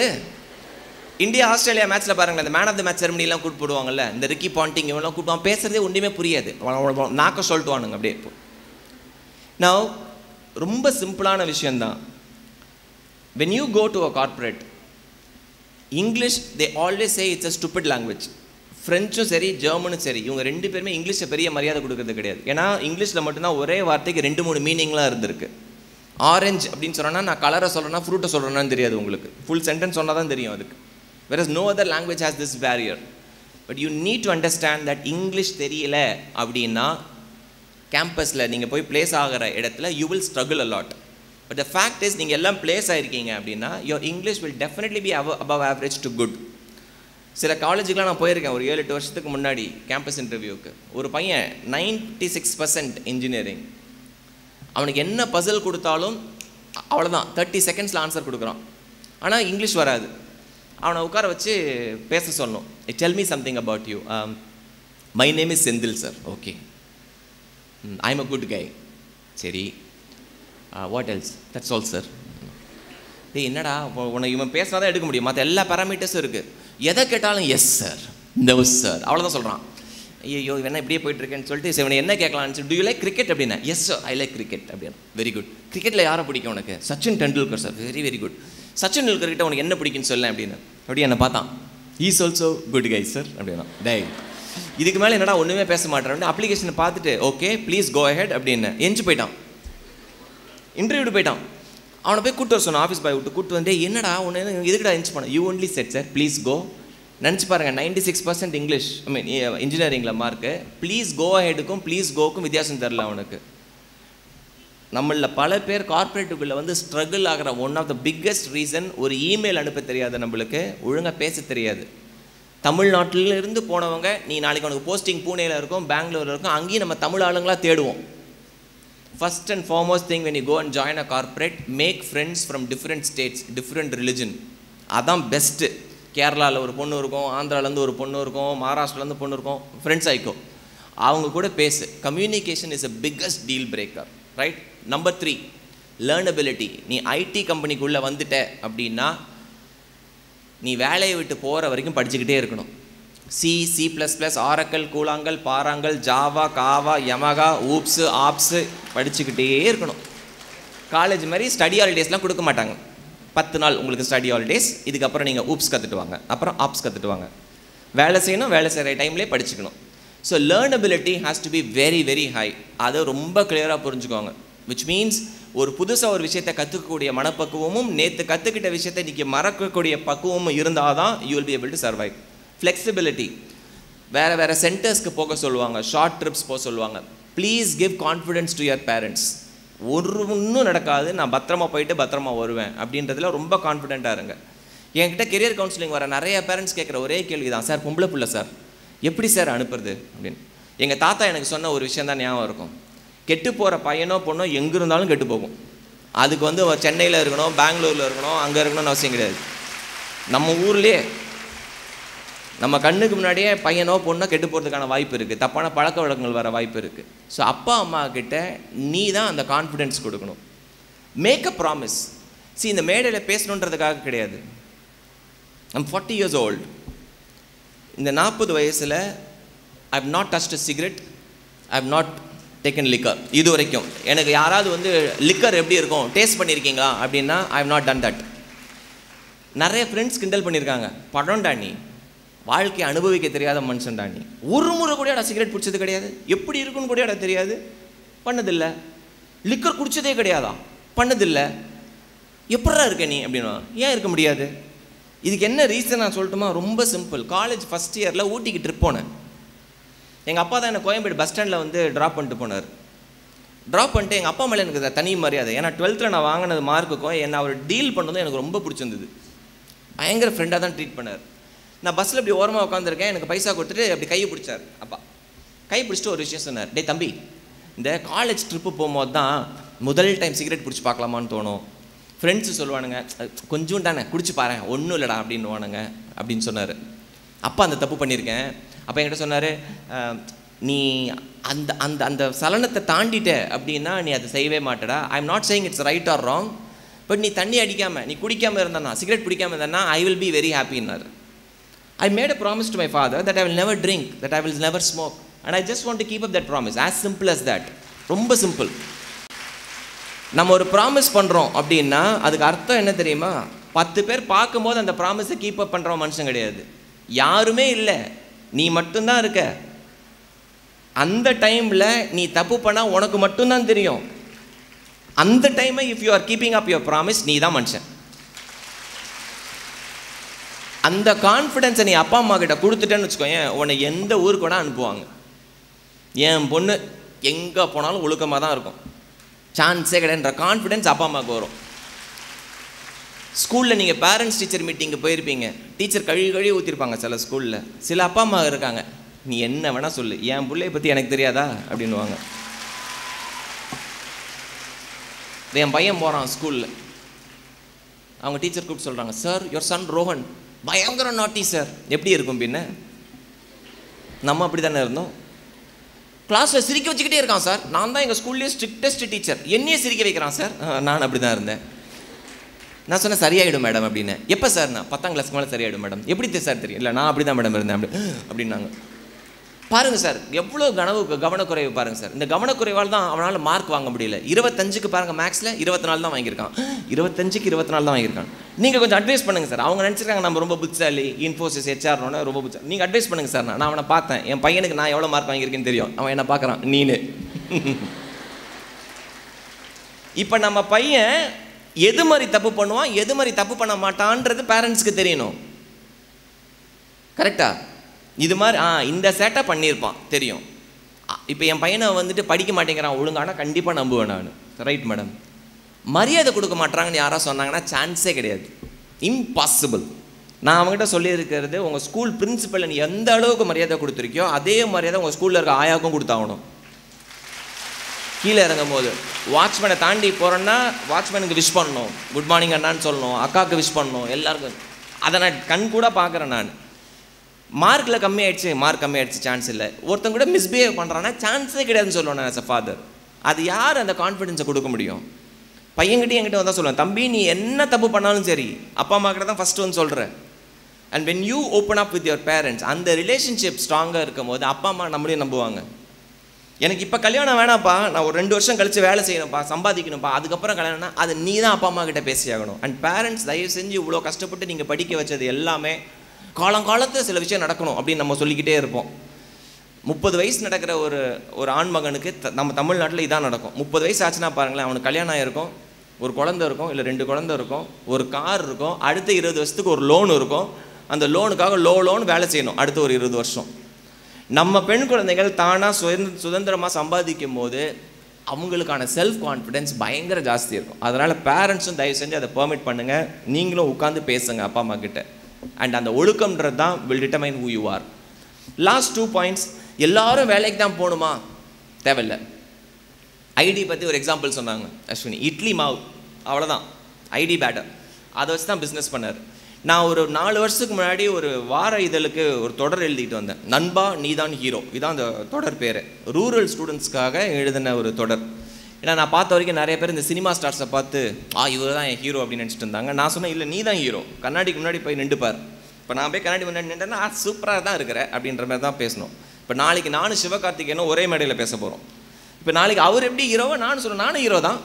நீ படத்தில் ஹீரோ நான் என் சைடில் நான் ஹீரோ அந்த கான்ஃபிடன்ஸ் நம்மளுக்கு இருக்கணும். அதான் நீ கண்ணாடியில் போய் பார்க்குற கண்ணாடியில் பார்த்தா ஆமாம் அழகாக தான் இருக்கேன் சூப்பராக இருக்குல்ல இந்த saree. செம்மையாக இருக்கல அப்படி. அந்த கான்ஃபிடன்ஸ் நம்மளுக்கு இருந்துன்னு வச்சுக்கோங்களேன் it takes you to very very definite definite அதனால அந்த title of the book was நண்பா நீ தான் ஹீரோ இதுதான் டைட்டிலு இதை பார்த்துட்டு ஒரு சாப்டரில் எழுதியிருந்தேன் நம்ம என்ன ஒரு வேலை செஞ்சாலும் நம்மளுக்கு பிடிச்ச விஷயம் நம்மளுக்கு எது நல்லா வருமோ அதில் செஞ்சால் பணம் வந்து ஆட்டோமேட்டிக்காக வரும் அப்படின்னு எழுதியிருந்தேன். இதை பார்த்துட்டு ஒரு ஏசி மெக்கானிக் சென்னையில் ஒரு பிரபலமான ஒரு ஹாஸ்பிட்டலில் வேலை செய்கிற ஒரு ஏசி மெக்கானிக் அவரோட ஃப்ரெண்டு மூலமாக எனக்கு அறிமுகமானார். அவர் வந்து சொன்னார் சார் நீங்கள் எழுதின இந்த தொடர் படிச்சுட்டு வரேன். எனக்கு வந்து பன்னெண்டாயிரரூவா சம்பளம் சார் இப்போது அப்பா மட்டும்தான் இருக்காங்க அம்மா இல்லை. அப்பாவுக்கு வந்து பேரலிட்டிக் பேஷண்ட்டு படுத்த படுக்கையாக இருக்காரு. ஒரு தம்பி ஒரு தங்கச்சி இருக்காங்க. நான் பன்னெண்டாயிரரூவா சம்பளம் வாங்குகிறேன் காலையில் விடிய கத்தால் டெய்லி நாலு கார் வாஷ் பண்ணுறேன் ஒரு காருக்கு ஐநூறுரூவா அது ஒரு ரெண்டாயிரரூவா சம்பாதிக்கிறேன். மாதம் பதினாலாயிரரூவா வருது. இதை தவிர ஒன்றும் வருமானம் இல்லை சார் அப்படின்னா. இப்போ நான் அவரை உட்காந்து ஒரு பேப்பர் எடுத்து எழுதிட்டே வந்தோம். உனக்கு என்னெல்லாம் பிடிக்கும் அப்படின்றத ஒரு சைடு எழுதிட்டே வந்தோம். எது செய்யும் போது உனக்கு ஒரு அ- அளவற்ற சந்தோஷம் இருக்குது அப்படி அப்போ அவன் சொல்லிட்டு வந்த விஷயத்தில் பார்த்தா ரெண்டு விஷயம் ஸ்ட்ரைக்கிங்காக இருந்தது. அவனுக்கு எக்ஸசைஸ் பண்ணுறதுக்கு ரொம்ப பிடிக்கும். ஓடுறது நடக்கிறது. மீனவர் குப்பத்துலேருந்து வர ஒரு பையன் திருவான்மியூர் பீச் பக்கத்தில் இருக்க ஒரு மீனவர் குப்பத்துலேருந்து வர பையன் பீச்சில் ஓடுவான் எக்ஸசைஸ் பண்ணுவான் ஆள் பார்க்க நல்ல வாட்ட சாட்டமாக இருக்கான். நல்ல பாடி ரெண்டாவது ஒரு விஷயம் சொன்னால் எனக்கு பெட்ஸ்னால் ரொம்ப பிடிக்கும் சார். நாய் பூனை இதெல்லாம் ரொம்ப பிடிக்கும். அதனால் எனக்கு எப்போல்லாம் டைம் கிடைக்குதோ ஈஸ்ட் கோஸ்ட் ரோடுன்னு ஒரு ரோடு இருக்குது பாண்டிச்சேரிக்கு போகிற ரோடு அந்த ரோட்டில் தான் நான் இருக்கேன். அங்கே இருக்க வெட்டினரி கிளினிக்ஸ்லாம் இருக்குல்ல அங்கே போய் டாக்டருக்கு அசிஸ்ட் பண்ணுவேன் நான். டாக்டருக்கு என்னடா அசிஸ்ட் பண்ணுவேன்னா இப்போ நாய்க்கு வந்து ஊசி போடும்போது நாயோட காலை பிடிச்சிக்கிறது. கம்பவுண்டர் வேலை. கிட்டத்தட்ட ஒரு நர்ஸ் வேலை மாதிரி பார்த்துட்ருக்கேன் சார். சரி அதுக்கு எவ்வளோ சம்பளம் கிடைக்கும்? ஒரு நாள் வேலை செஞ்சால் இரநூறுவா கொடுப்பாங்க. அப்போ நான் சொன்னேன் என்ன ஒரு ஒரு வாரம் கழித்து வந்து பாரு அப்படின்னு. இப்போ இவங்க இவன் சொன்ன இந்த ரெண்டு விஷயத்தையும் வச்சு நம்ம எதாவது பண்ண முடியுமான்னு பார்த்தேன். இப்போ நான் இருக்கிற அப்பார்ட்மெண்ட்டில் முப்பத்தாறு வீடு இருக்குது இந்த முப்பத்தாறு வீட்டில் நிறைய பேர் வீட்டில் நாய் வளர்க்குறாங்க. இப்போ நாய் வளர்க்கும் போது நம்ம ஊருக்குன்னு ஒரு நாய் இருக்குது இந்தியன் மாகுரல் அப்படின்னு நம்ம சொல்கிறோம் கொச்சையாக சொன்னால் தெருநாயின்றோம் அதை நம்ம. ஏன்னா தெருவிலே இருக்கிறனால அது பேர் தெருநாய் ரைட் பட் இந்த வெரைட்டி ஆஃப் டாக்ஸ் தான் இங்கே எவ்வளோ வெயில் இருந்தாலும் அது ஜாலியாக சுற்றிட்டு இருக்கும். ஆனால் நம்ம ஆளுங்க வாங்குற நாயெல்லாம் வெளிநாட்டிலேருந்து தான் வாங்குவாங்க. லேப் எடுத்துரும் அப்புறம் நாயை யார் வாக்கிங் கூட்டு போகிறதுமே ஒரே சண்டை நடக்கும். இது எங்கள் அப்பார்ட்மெண்ட்டில் நிறைய பார்த்துருக்கேன். எங்கள் வீட்டில் ஒரு நாய் இருக்குது பக்குன்னு ஒன்று இருக்கும். அது நாயா மொசக்குட்டியானே தெரியாது. அதை வாக்கிங் கூட்டு போனீங்கன்னு வச்சுக்கோங்களேன் இங்கேருந்து அவ்வளோ தூரம் போனீங்கனால திரும்பி பார்க்கும் நம்மள. வீட்டுக்கு போகலாமா அப்படி பார்க்கும். இப்போ நான் அந்த பையனை வச்சுட்டு நான் கேட்டேன் இவர் உனக்கு நடக்கிறதுக்கு ரொம்ப பிடிக்கும்னு. பெட்ஸும் பிடிக்கும்னு. இப்போ நம்ம அப்பார்ட்மெண்ட்டில் பார்த்தோன்னா நாய் நிறைய இருக்குடா. நம்ம ஏன் ஒரு நாயை வாக்கிங் கூட்டு போகிறதுக்கு பைசா வாங்கக்கூடாதுன்னு கேட்டேன். ஆண்டர்பிரினர்ஷிப்னா என்ன? சுயதொழில் ஆரம்பிக்கணும்னா என்ன? சொசைட்டியில் ஒரு நீடு இருக்குது அந்த நீடு ஒரு ப்ராப்ளம் இருக்குது அந்த ப்ராப்ளத்துக்கு உங்ககிட்ட சொல்யூஷன் இருக்குது அந்த சொல்யூஷனுக்கு நீ வாங்குற ப்ரொஃபஷனல் ஃபீ தான் ஆண்டர்பிரினர்ஷிப் இவ்வளோ தான் டிஃபைனேஷன் அவங்க சொன்னாங்களே சொசைட்டியை இம்பேக்ட் பண்ணணும் டெய்லி நான் வந்து ம- ஒரு ஒரு ஹோம் மேக்கராக இருக்கேன். நான் போய் அரிசியை போட்டு உளுந்து போட்டு மாவு அரைச்சி அள்ளுறதுக்கு ஒரு ஒன்றரை மணி நேரம் ஆகுது. அதுக்கு பதிலாக டேரெக்டாக யாரோ ஹை குவாலிட்டியில் கொடுக்குறாங்க. என் டைம் மிச்சமாகுது. அப்படின்னா யாரோ ஒருத்தரோட ப்ராப்ளத்தை நீங்கள் சால்வ் பண்ணுறீங்க இப்போ நாயை வாக்கிங் கூப்பிட்டு போகிறதுக்கு பைசா வாங்கலாமா அப்படின்னு கேட்டப்ப அவன் என்ன லூஸ் மாதிரியே பார்த்தான்.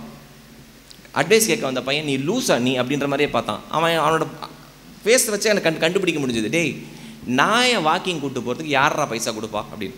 நான் சொன்னேன் வா அப்படின்னு சொல்லிட்டு எங்கள் ஆப்போசிட் வீட்டில் ரெண்டு பேரும் ஐடியில் இருக்காங்க. அவர்கிட்ட கேட்டேன் உங்கள் வீட்டில் நாய் இருக்குது நீங்கள் ரெண்டு பேருமே போயிடுறீங்க. இந்த நாயை டெய்லி வாக்கிங் கூட்டு போகிறதுக்கு நான் ஒரு ஆள் அரேஞ்ச் பண்ணி தரேன். எவ்வளோ கொடுப்பீங்க மாதத்துக்கு அப்படின்னு. அவர் சொன்னார் ஆயிரத்தி ஐநூறுரூவா தரேன் சார் அப்படின்னார். டெய்லி வாக்கிங் கூட்டு போனால் மாதத்துக்கு ஆயிரத்தி ஐநூறுரூவா அவர் ஒரு மாதம் ஃபுல்லாக கார் கழுவுனா நாலு கார் கழுவுனா ரெண்டாயிரரூவா கிடைக்குது. இங்கே ஒரு நாயை கூட்டு போனாலே ஆயிரத்தி ஐநூறுரூவா அவன் அப்படியே என்னை பார்த்தான். சூப்பர்ண்ணா அப்படின்னா. ஃபஸ்ட்டு நாய் கான்ட்ராக்ட் கிடச்சிருச்சு. இப்போ இந்த நாய் வாக்கிங் கிடச்சோன்னே நான் என்ன பண்ணேன் எங்கள் அப்பார்ட்மெண்ட்டில் இருக்க செக்ரட்டரிக்கு ஒரு லெட்டர் கொடுத்தோம். இதுமாரி நம்ம அப்பார்ட்மெண்ட்டில் பதினெட்டு பேர் வீட்டில் நாய் இருக்குது எனக்கு தெரிஞ்ச நண்பர் ஒருத்தர் இருக்கார். இவர் வந்து நாயை வாக்கிங் கூட்டு போகிறதுக்கு ரெடியாக இருக்கார். நீங்கள் ஒரு நோட்டீஸ் கொடுக்க முடியுமா அப்படின்னு. கொடுத்தா பன்னெண்டு பேர் அவங்க நாயை ரெடியாக கொடுத்துட்டாங்க. தயவு செஞ்சு கூட்டு போ. மாதம் ஆயிரத்தி ஐநூறுரூவா தான்? என் தொல்லை தீர்ந்தது டெய்லி காலையில் அவரோட ஒர்க்கிங் ஹவர்ஸ் என்னென்னா காலையில் ஃபோர் டு சிக்ஸு சாயங்காலம் சிக்ஸ் டு எயிட் இதுதான் நாயை வாக்கிங் கூட்டு போகிற டைம் ஏன்னு கேட்காதீங்க நாய் அப்போ தான் சுசு போகும். அந்த டைம் தான் நீங்கள் வாக்கிங் கூட்டு போகிறதுக்கான கரெக்டான டைம் ஸோ சின்ன நாயாக இருந்தால் ரெண்டு நாயை கூட்டு போவார். பெரிய நாயாக இருந்தால் சிங்கிளை கூட்டு போவார். பன்னிரெண்டு இன்ட்டு ஆயிரத்தி ஐநூறுரூவா கணக்கு போட்டுக்கோங்க. அதுவே பதினெட்டாயிரம் ரூபா வருது. நாய் வாக்கிங் கூட்டு போகிறதுக்கு அவனுக்கு அவ்வளோ சந்தோஷம். எனக்கு ஒரு கிலோ ஸ்வீட் பாக்ஸ் வாங்கிட்டு வந்து கொடுத்தான். அண்ணா சூப்பர்ண்ணா ரொம்ப தேங்க்ஸ்ண்ணா ரொம்ப ஹாப்பிண்ணா நான் அப்படின்ட்டு ஒரு வாக்கிங் இது நடந்தது ஒரு நாலு வருஷத்துக்கு முன்னாடி ரெண்டாயிரத்தி பதிமூணில் நடந்தது. இந்த வர்தா புயல் வந்ததில்ல இப்போ. நான் அந்த அப்பார்ட்மெண்ட் விட்டு மாறி வேறு அப்பார்ட்மெண்ட்டுக்கு போயிட்டேன் இவங்க கூட அவ்வளோ டச்சில் இல்லை. இந்த வர்தா புயல் வரது கரெக்டாக ஒரு பத்து நாளைக்கு முன்னாடி எங்கள் அப்பார்ட்மெண்ட் என் ஆஃபீஸில் செக்யூரிட்டி கார்டு கூப்பிட்டாரு. கூப்பிட்டு சார் உங்களை பார்க்க ஒருத்தர் வெளில வந்து நிற்கிறாரு உங்களுக்கு தெரிஞ்சவருன்றாரு. உங்களை பார்த்துட்டு போகணும். யாருன்னு ஃபோன் கொடுங்க அப்படின்னா நம்மால். அண்ணா நான் தானா உங்களை கொஞ்சம் பார்க்கணுண்ணா அப்படின்னா. டேய் நல்லா இருக்கேடான்னு வெளில வந்தேன். வெளில வந்தால் ஒன்று ஒரு ஸ்வீட் பாக்ஸ் வச்சுருந்தான். ஒரு கிலோ ஸ்வீட் பாக்ஸு நான் ஸ்வீட் எடுத்துக்கோங்கண்ணா அப்படின்னா. என்னடா அப்படின்னா? நான் பைக் ஒன்று வாங்கியிருக்கேண்ணா. பஜாஜ் பல்சர் பைக் ஒன்று வாங்கியிருக்கேன். உங்களை ஒரு ரவுண்டு கூட்டு போனோம்னா அப்படின்னா. நான் சொன்னேன் சூப்பர்ரா அப்படின்னு பார்த்தேன் black colour Bajaj Pulsar bike எவ்வளோடா ஆச்சு அப்படின்னா? அண்ணா ஒன்னே கால் லட்ச ரூபா ஆச்சுண்ணா அப்படின்னா. டே சூப்பரா லோன் போட்டியாடா அப்படின்னா. இல்லை நான் ரெடிமேட் கேஷ் தானா ரெடி கேஷ் கொடுத்தானா எடுத்தேன் அப்படின்ட்டு என்ன எங்கள் ஆஃபீஸ்லேருந்து அந்த ஐடிஐ வேலை டிசிஎஸ் வரைக்கும் அப்படி போய் யூ டர்ன் போட்டு எடுத்துகிட்டு வந்தான். வரும்போது இறக்கி விட்டான். இறக்கி விட்டு நான் கேட்டேன் அப்புறம் என்னடா பண்ணுற இப்போது நாயெல்லாம் வாக்கிங் கூப்பிட்டு போறியா? அப்படின்னு அண்ணா நம்மக்கிட்ட இப்போ நூற்றி இருபத்தஞ்சு நாய் இருக்குண்ணா அப்படின்னா. நூற்றி இருபத்தஞ்சு நாயா? நூற்றி இருபத்தஞ்சு நாய் நீ எப்படா வாக்கிங் கூப்பிட்டு போகிற அண்ணா அண்ணா நீங்கள் ஐடியா கொடுத்தீங்கன்னா அப்புறம் நான் யோசிச்சு பார்த்தேன். நம்மளே டெய்லி வாக்கிங் கூட்டு போனேன் அப்படின்னு இப்போ நம்ம குப்பத்து பசங்க இருபது பேர் நம்மக்கிட்ட வேலை செய்கிறாங்கன்னா இருபது பேர் அவர்கிட்ட வேலை செய்கிறாங்களாம் இதில் பதினெட்டு பேர் ரெகுலர் ஸ்டாஃப்னா ரெண்டு பேர் பேக்கப் ஸ்டாஃப்னா அப்படின்னா. பேக்கப் ஸ்டாஃபா எதுக்குடா? அப்படின்னா இல்லைனா இந்த நாய் வாக்கிங் கூட்டு போகிறதுக்கு சில பசங்க திடீர்னு லீவ் போட்டுருவாங்க. அப்போ அன்றைக்கி வாக்கிங் கூட்டு போகிறதுக்கு ஆள் இருக்காதுல்ல. அப்போ நான் பேக்கப் ஸ்டாஃப் அனுப்புவேண்ணா அப்படின்னா. சூப்பரானா ஒரு ஆளுக்கு முந்நூறுரூவா கொடுக்குறேன்னா இப்போ நம்மளுக்கு கையில் ஆயிரத்தி இரநூறுவா நிற்கிது இப்போ நீ என்ன பண்ணுற நான் இப்படி தான் நான் பைக் எடுத்துகிட்டு ஏரியா ஏரியா சூப்பர்வைஸ் பண்ணி ஆ இன்றைக்கி அந்த அப்பார்ட்மெண்ட் போயிட்டு அவங்க சீக்கிரம் போகிறாங்க அங்கே போய் நாய் வாக்கிங் கூட்டு போய் இவர் வெறும் சூப்பர்வைசிங் தான் பண்ணுறாராம் இருபது பேர் வேலை செய்கிறாங்களா அவங்ககிட்ட அப்புறம் என்கிட்ட சொன்னா அண்ணா அப்புறம் ஒன்றுன்னா நீங்கள் போட்டுருக்கிறீங்களா டேகு இதுமாதிரி நானும் கொடுத்துருக்குறேண்ணா எங்கள் கம்பெனியில் டேக் அப்படின்னா. டேய் நான் சொன்னேன் டேய் எதுக்குடா டேக் எதுக்குடா கொடுத்த? அப்படின்னு. இல்லைண்ணா உங்களுக்கு தெரியாத விஷயம் இல்லை. நீ இந்த ஃபீல்டில் நான் இன்ட்ரடியூஸ் பண்ணணுன்னு தான் நான் பார்த்தேன். அந்த மெட்ராஸ் தமிழ் வர கொஞ்சம் ஒரு மாதிரி தான் இருக்கும். நீ என்னை இன்ட்ரடியூஸ் பண்ண பிறகு தான் நான் பார்த்தேன். நாய் திருட்டு வந்து பயங்கர பெரிய பிஸ்னஸ் நான் இங்கே. நாயை வாக்கிங் கூப்பிட்டு போகிறேன் நாயை திருடின்னு போய் வெளில போய் விற்றுருவாங்க அதனால் நம்ம ஃபோட்டோ போட்டு ஐடி கார்டு இருக்குதுண்ணா. அந்த எம்ப்ளாயி வந்து நான் இந்த எம் நான் தான் அந்த ஆள்னு காமிச்சா தான் ஓனர் நாயை கொடுப்பாங்க. இல்லைன்னா நாய் கொடுக்க மாட்டாங்கண்ணா அப்படின்னா. டேய் சூப்பர்ரா அப்படின்னு. வாழ்த்துக்கள்ரா அப்படின்னு. சரிடா தம்பி கிளம்புறேன்ட்டு அவ்வளோ தூரம் போனோம் பாருங்க. அப்புறம் என்கிட்ட கொடுத்தா அண்ணா அப்படின்னா என்னடா நான் நீங்கள் ஐடி கம்பெனி தானேண்ணா அப்படின்னா அவனுக்கு ஹெச்ஆர்லாம் தெரியாது. நான் எனக்கு ஒரு வெப்சைட் போடணுண்ணா அப்படின்னா வெப்சைட்டா அப்படின்னு சரி வரேன் திருப்பி. என்னடா பேர்லாம் டிசைட் பண்ணிட்டேன் நான் ஒன்னொரு அண்ணா சொன்னாங்க பேர்லாம் டிசைட் பண்ணிட்டேன் எனக்கு அந்த வெப்சைட் மட்டும் கொஞ்சம் ஹெல்ப் பண்ணா அப்படின்னு. என்னடா அப்படின்னு. W W W dot the dog walker dot com அப்படின்னு உனக்கு வெப்சைட் வேணுமா. இப்போ நீ கணக்கு போட்டுக்கோ நூற்றி இருபத்தஞ்சு இன்ட்டு ஆயிரத்தி ஐநூறு எவ்வளவு? கிட்டத்தட்ட நான் வாங்குகிற சம்பளத்தோட ஜாஸ்தி வாங்குறான். அவன் நாய் வாக்கிங் கூட்டு போயிட்டு.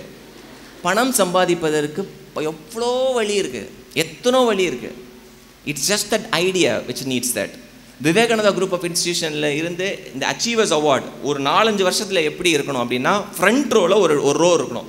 ஆண்டர்பனர்ஸ் அப்படின்னு ஒரு ரோ இருக்கணும். கேப் ஜெமினை டிசிஎஸ் இன்ஃபோசிஸ்க்கு எல்லாத்துக்கும் முன்னாடி நீ உட்காந்துருக்கணும் நான் ஒரு கோழி பண்ண வச்சுருக்கேன் இங்கே. நான் ஒரு பொட்டிக் வச்சுருக்கேன். நான் ஒரு பியூட்டி பார்லர் ஆரம்பிச்சிருக்கேன். நான் இத்தனை பேருக்கு வேலை கொடுக்குறேன் அப்படின்னு வரும் பாருங்கள் they are real achievers so இன்றைக்கி you gonna work for somebody it's perfectly fine நீ இன்ஃபோசிஸ் விப்ரோ எங்கே வேணால் போய் வேலை செய். ஆனால் நீ வேலை செய்யும் போது தான் உள்ளுக்குள்ளே ஒரு வாய்ஸ் கேட்டுக்கிட்டே இருக்கும். Am using my fullest potential அப்போ உன்னோட ஃபுல்லஸ்ட் பொட்டென்ஷியல் வேறு எங்கேயாவது இருந்தால் இந்த டாக் வாக்கர் மாதிரி இந்த முஸ்தஃபா மாதிரி சம்படி ஆல் ஏன் உங்கள் சேர்மன் மாதிரி look dream big and think big and be an entrepreneur இந்த last message my dear friends ரெண்டாயிரத்தி பன்னெண்டு வரைக்கும் என் வாழ்க்கை ஒரு சைடாக போயிட்டு இருந்தது corporate HR and all the stuff I want to be the fastest growing HR professional பயங்கரமான ஏவிபி ஆகணும் விபி ஆகணும் அதெல்லாம் இருந்தது. ஆனால் காட் ஆல்மைட்டி இருக்கார் பாருங்க அவர் ரொம்ப தெளிவு. யார் யாருக்கு எந்தெந்த பாதைக்கு போகணுன்றது ரொம்ப தெளிவாக திட்டந்திட்டு இருக்கார்.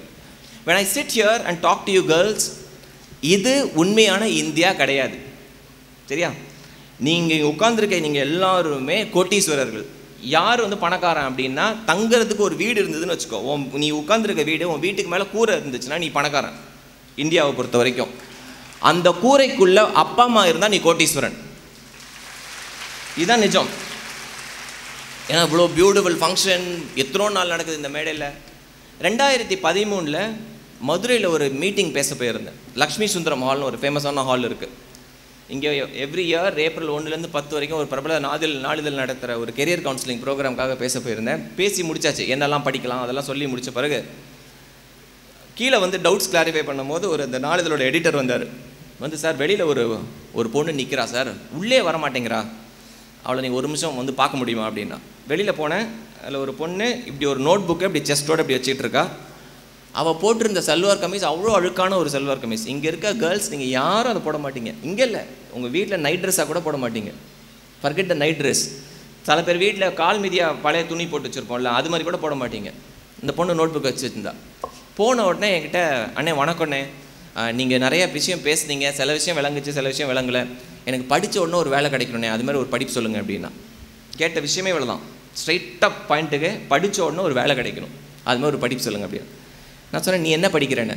நான் சொன்னேன் இப்போ தான் டுவெல்த் எக்ஸாம் எழுதி முடிச்சிருக்கேனே அப்படின்னா. யார் இருக்கா வீட்டில் அம்மா இல்லை. இந்த பொண்ணு ஏழாம் கிளாஸ் இருக்கும்போது அம்மா இறந்துட்டாங்க. அப்பா முழு நேர குடி. தேங்க்ஸ் டு டாஸ்மாக் பல பேர் குடியில் தான் இருக்காங்க. ஒரு தம்பி ஒரு தங்கச்சி. அப்போ சொன்னால் யார் படிக்க வைக்கிறா? அப்படின்னு. அண்ணே நான் தானே வேலை செஞ்சுட்டே படிக்கிறேன் அப்படின்னா. என்னம்மா வேலை செய்கிறேன்னு நாலு வீட்டில் பாத்திரம் தேய்க்கிறேன் அப்படின்னா. காலையில் ரெண்டு வீட்டில் வேலை செய்கிறா சாயங்காலம் ரெண்டு வீட்டில் வேலை செய்கிறா வந்து தம்பி தம்ப தங்கச்சிக்கு சமைச்சு சாப்பாடு எடுத்துகிட்டு போகிறா ஸ்கூலுக்கு டுவெல்த் எக்ஸாம் முடிச்சிட்டா. நான் கேட்டேன் எவ்வளோ மார்க் வாங்கியிருக்கேன் அப்படின்னா. அது கேட்க முன்னாடி அவள் சொல்கிறானே நான் என்ன படிப்பாக இருந்தாலும் படிச்சுப்பேன் நல்லா படிப்பேன். நான் என்ன படிப்பாக இருந்தாலும் படிச்சுப்பேனே அப்படின்னா. சரி எவ்வளோமா மார்க் வாங்கியிருக்கேன் ஏன்னா மார்க்கை பேஸ் பண்ணி நான் ஒரு கோர்ஸ் அட்ஜஸ்ட் பண்ணலாம்னு நினச்சேன். அப்போ சொன்னானே மூணு ரிவிஷன் எக்ஸாம் முடிஞ்சிருக்குனே நான் கம்மியாக வாங்கின மார்க்கு ஆயிரத்தி நூற்றி ஐம்பத்தி நாலுண்ணே அப்படின்னா. சரியா? இதை நான் ரெண்டு என்னோடய டுவெல்த் மார்க்கை ரெண்டால் பெருக்குனா தான் அங்கே போகும். தௌசண்ட் ஒன் ஃபிஃப்டி ஃபோர் எனக்கு அப்படியே பலார்னு அரைஞ்ச மாதிரி இருந்தது. நம்மக்கிட்ட யாராவது உதவின்னு கேட்டு வரும்போது நம்ம என்ன பண்ணுவோம்? ஃபஸ்ட்டு பர்ஸ் எடுத்து பைசா கொடுப்போம். கரெக்டாக நீங்கள் எல்லாரும் பண்ணியிருப்பீங்க இல்லை? ரோட்டில் இருக்க பிச்சைக்காரங்களுக்கு கூட நம்ம எதாவது பைசா கொடுத்துருப்போம். ஆனால் அன்னைக்கு எனக்கு பைசா கொடுக்கணும்னு தோணவே இல்லை. எனக்கு அவளை எப்படி ஹெல்ப் பண்ணணும்னு தெரியல. நான் என்னோடய பிஸ்னஸ் கார்டை எடுத்து கொடுத்துட்டு ஒரு ரிசல்ட்ஸ் வந்தோன்னே எனக்கு ஃபோன் பண்ணு அப்படின்னு. அவளோட நம்பரும் ஒரு இந்த பிபி நம்பர்னு சொல்லுவாங்க. வேலை செய்கிற நம்பரும் வாங்கிக்கிட்டேன். என் கூட பேசும்போது நான் இப்படி பக்கத்தில் வந்தேன்னா ஒரு நாலடி தள்ளி போகிறான் பின்னாடி. ஒரு அவசரத்திலே இருக்கா? எங்கேயோ போகிறதுக்கு நான் அப்போ அவளை தோளில் தட்டி கொடுத்து இங்கே வா என்ன அவசரம்? நான் தான் பேசிகிட்டு இருக்கேன் உனக்கு என்ன அவசரம்? அப்படின்னு. அப்போ சொல்கிறா அண்ணே நான் நாற்பத்தஞ்சு நிமிஷம் தானே பர்மிஷன் வாங்கிட்டு வந்தேன் வேலை செய்கிற இடத்துல. ஒரு மணி நேரம் ஆச்சு நான் போகலன்னா என் வேலை போயிடும். அதான் அந்த குழந்தை சொன்னது. நான் சொன்னேன் சரி நீ போ உன் ரிசல்ட்ஸ் வந்தோன்னா என்னை கூப்பிடு அப்படின்னு. மதுரை முடிச்சுட்டு நான் சேலத்துக்கு வரணும் அடுத்து பேசுகிறதுக்கு கிட்டத்தட்ட மூன்றரை நாலு மணி நேரம் காரில் தனியாக தான் இருக்கேன். எனக்கு இந்த பொண்ணோட இமேஜ் வந்து வந்து வந்து வந்து போயிட்டே இருந்தது. என்ன பண்ணலாம் அப்படின்னு. அப்போ ஃபோன் எடுத்து அந்த நீங்கள் உங்கள் ஃபோன் இருந்ததுன்னா எடுத்து பாருங்கள் நிறைய உங்கள் ஃப்ரெண்ட்ஸோட நம்பர் நிறைய பேர் வச்சுருப்பீங்க. இப்போ சார் எடுத்தீங்கன்னா நிறைய அகடமிஷியன்ஸ் நம்பர் வச்சுருப்பார். இந்த காலேஜ் சேர்மேன் அந்த காலேஜ் சேர்மேன் டாக்டர் வந்து நிறைய டாக்டர்ஸ் நம்பரை வச்சுருப்பாங்க. என் ஃபோன் எடுத்து பார்த்தா நிறைய ஹெச்ஆர் நம்பர் இருந்தது. அதுக்கு ஈக்குவலாக நிறைய காலேஜ் சேர்மன்ஸ் நம்பர் இருந்தது. ஏன்னா ரெண்டாயிரம் லெக்சர்னால் நீங்கள் நினச்சி பாருங்கள் காலேஜ் காலேஜாக போகும்போது சில காலேஜ் பிரின்ஸிபல் சேர்மன் ஃப்ரெண்ட்ஸாக இருப்பாங்க. யோசிச்சு பார்த்தேன். ஏன் வெக்கத்தை விட்டு ஒரு காலேஜில் ஃப்ரீ சீட்டு கேட்கக்கூடாதுன்னு தோணுச்சு எனக்கு அன்றைக்கி அன்றைக்கி ஒரு விஷயம் நல்லா புரிஞ்சுது. நமக்குன்னு ஒரு உதவி கேட்கும்போது தான் நம்ம கூனி குறுக்கி கேட்க வேண்டியது இருக்கும். இப்போ நான் போய் உங்கள் சேர்மன் கிட்ட ஒரு ஐயாயிரரூவா பணம் கேளுங்க. கடன் கேட்குறேன்னு வச்சுக்கோங்களேன். அவர்கிட்ட போயிட்டு சார் ஒரு ஐயாயிரரூவா கொடுங்க. பளிர்னு விழும் கேட்குறது ஐயாயிரரூவா அப்புறம் என்ன உனக்கு? நமக்குன்னு ஒரு உதவி கேட்கும்போது நம்ம என்ன பண்ணுவோம்? ரெண்டு விஷயம் நடக்கும். இந்த ஷோல்டர் இருக்குது தெரியுமா? இது இப்படி ஆகிடும் இப்படி கொஞ்சம் இறங்கிடும். வாய்ஸ் ஃபீபிள் ஆகிடும் சார் ரொம்ப கஷ்டத்தில் இருக்கேன். சார் ஒரு ஐயாயிரரூவா கொடுங்க. சார் ரெண்டு மாதத்தில் கொடுத்துறேன். இல்லை ஒரு மாதத்தில் கொடுத்துறேன். ஆனால் நீங்கள் கேட்குற உதவி யாருன்னே உங்களுக்கு தெரியாது. யாரோ ஒருத்தர். அப்படின்றவங்களுக்கு போய் நீங்கள் உதவி கேட்குறீங்கன்னு வச்சுக்கோங்களேன் அன்றைக்கி எனக்கு தெரிஞ்ச விஷயம் நம்ம குரலில் ஒரு கம்பீரம் தெரிஞ்சது. ஒரு காலேஜ் சேர்மனை சென்னையில் இருக்கவருக்கு ஃபோன் பண்ணேன். சார் இது மாதிரி ஒரு ஸ்டூடெண்ட்டை பார்த்தேன் sir if you don't mind எனக்காக ஒரே ஒரு ஃப்ரீ இன்ஜினியரிங் சீட் தர முடியுமா? அந்த பொண்ணு கண்டிப்பாக நல்லா படிச்சுப்பா. நீங்கள் அந்த சீட் கொடுத்தீங்கன்னா அவன் தம்பி தங்கச்சி நான் சென்னைக்கு தான் கொண்டு வந்து படிக்க வைக்கணும்.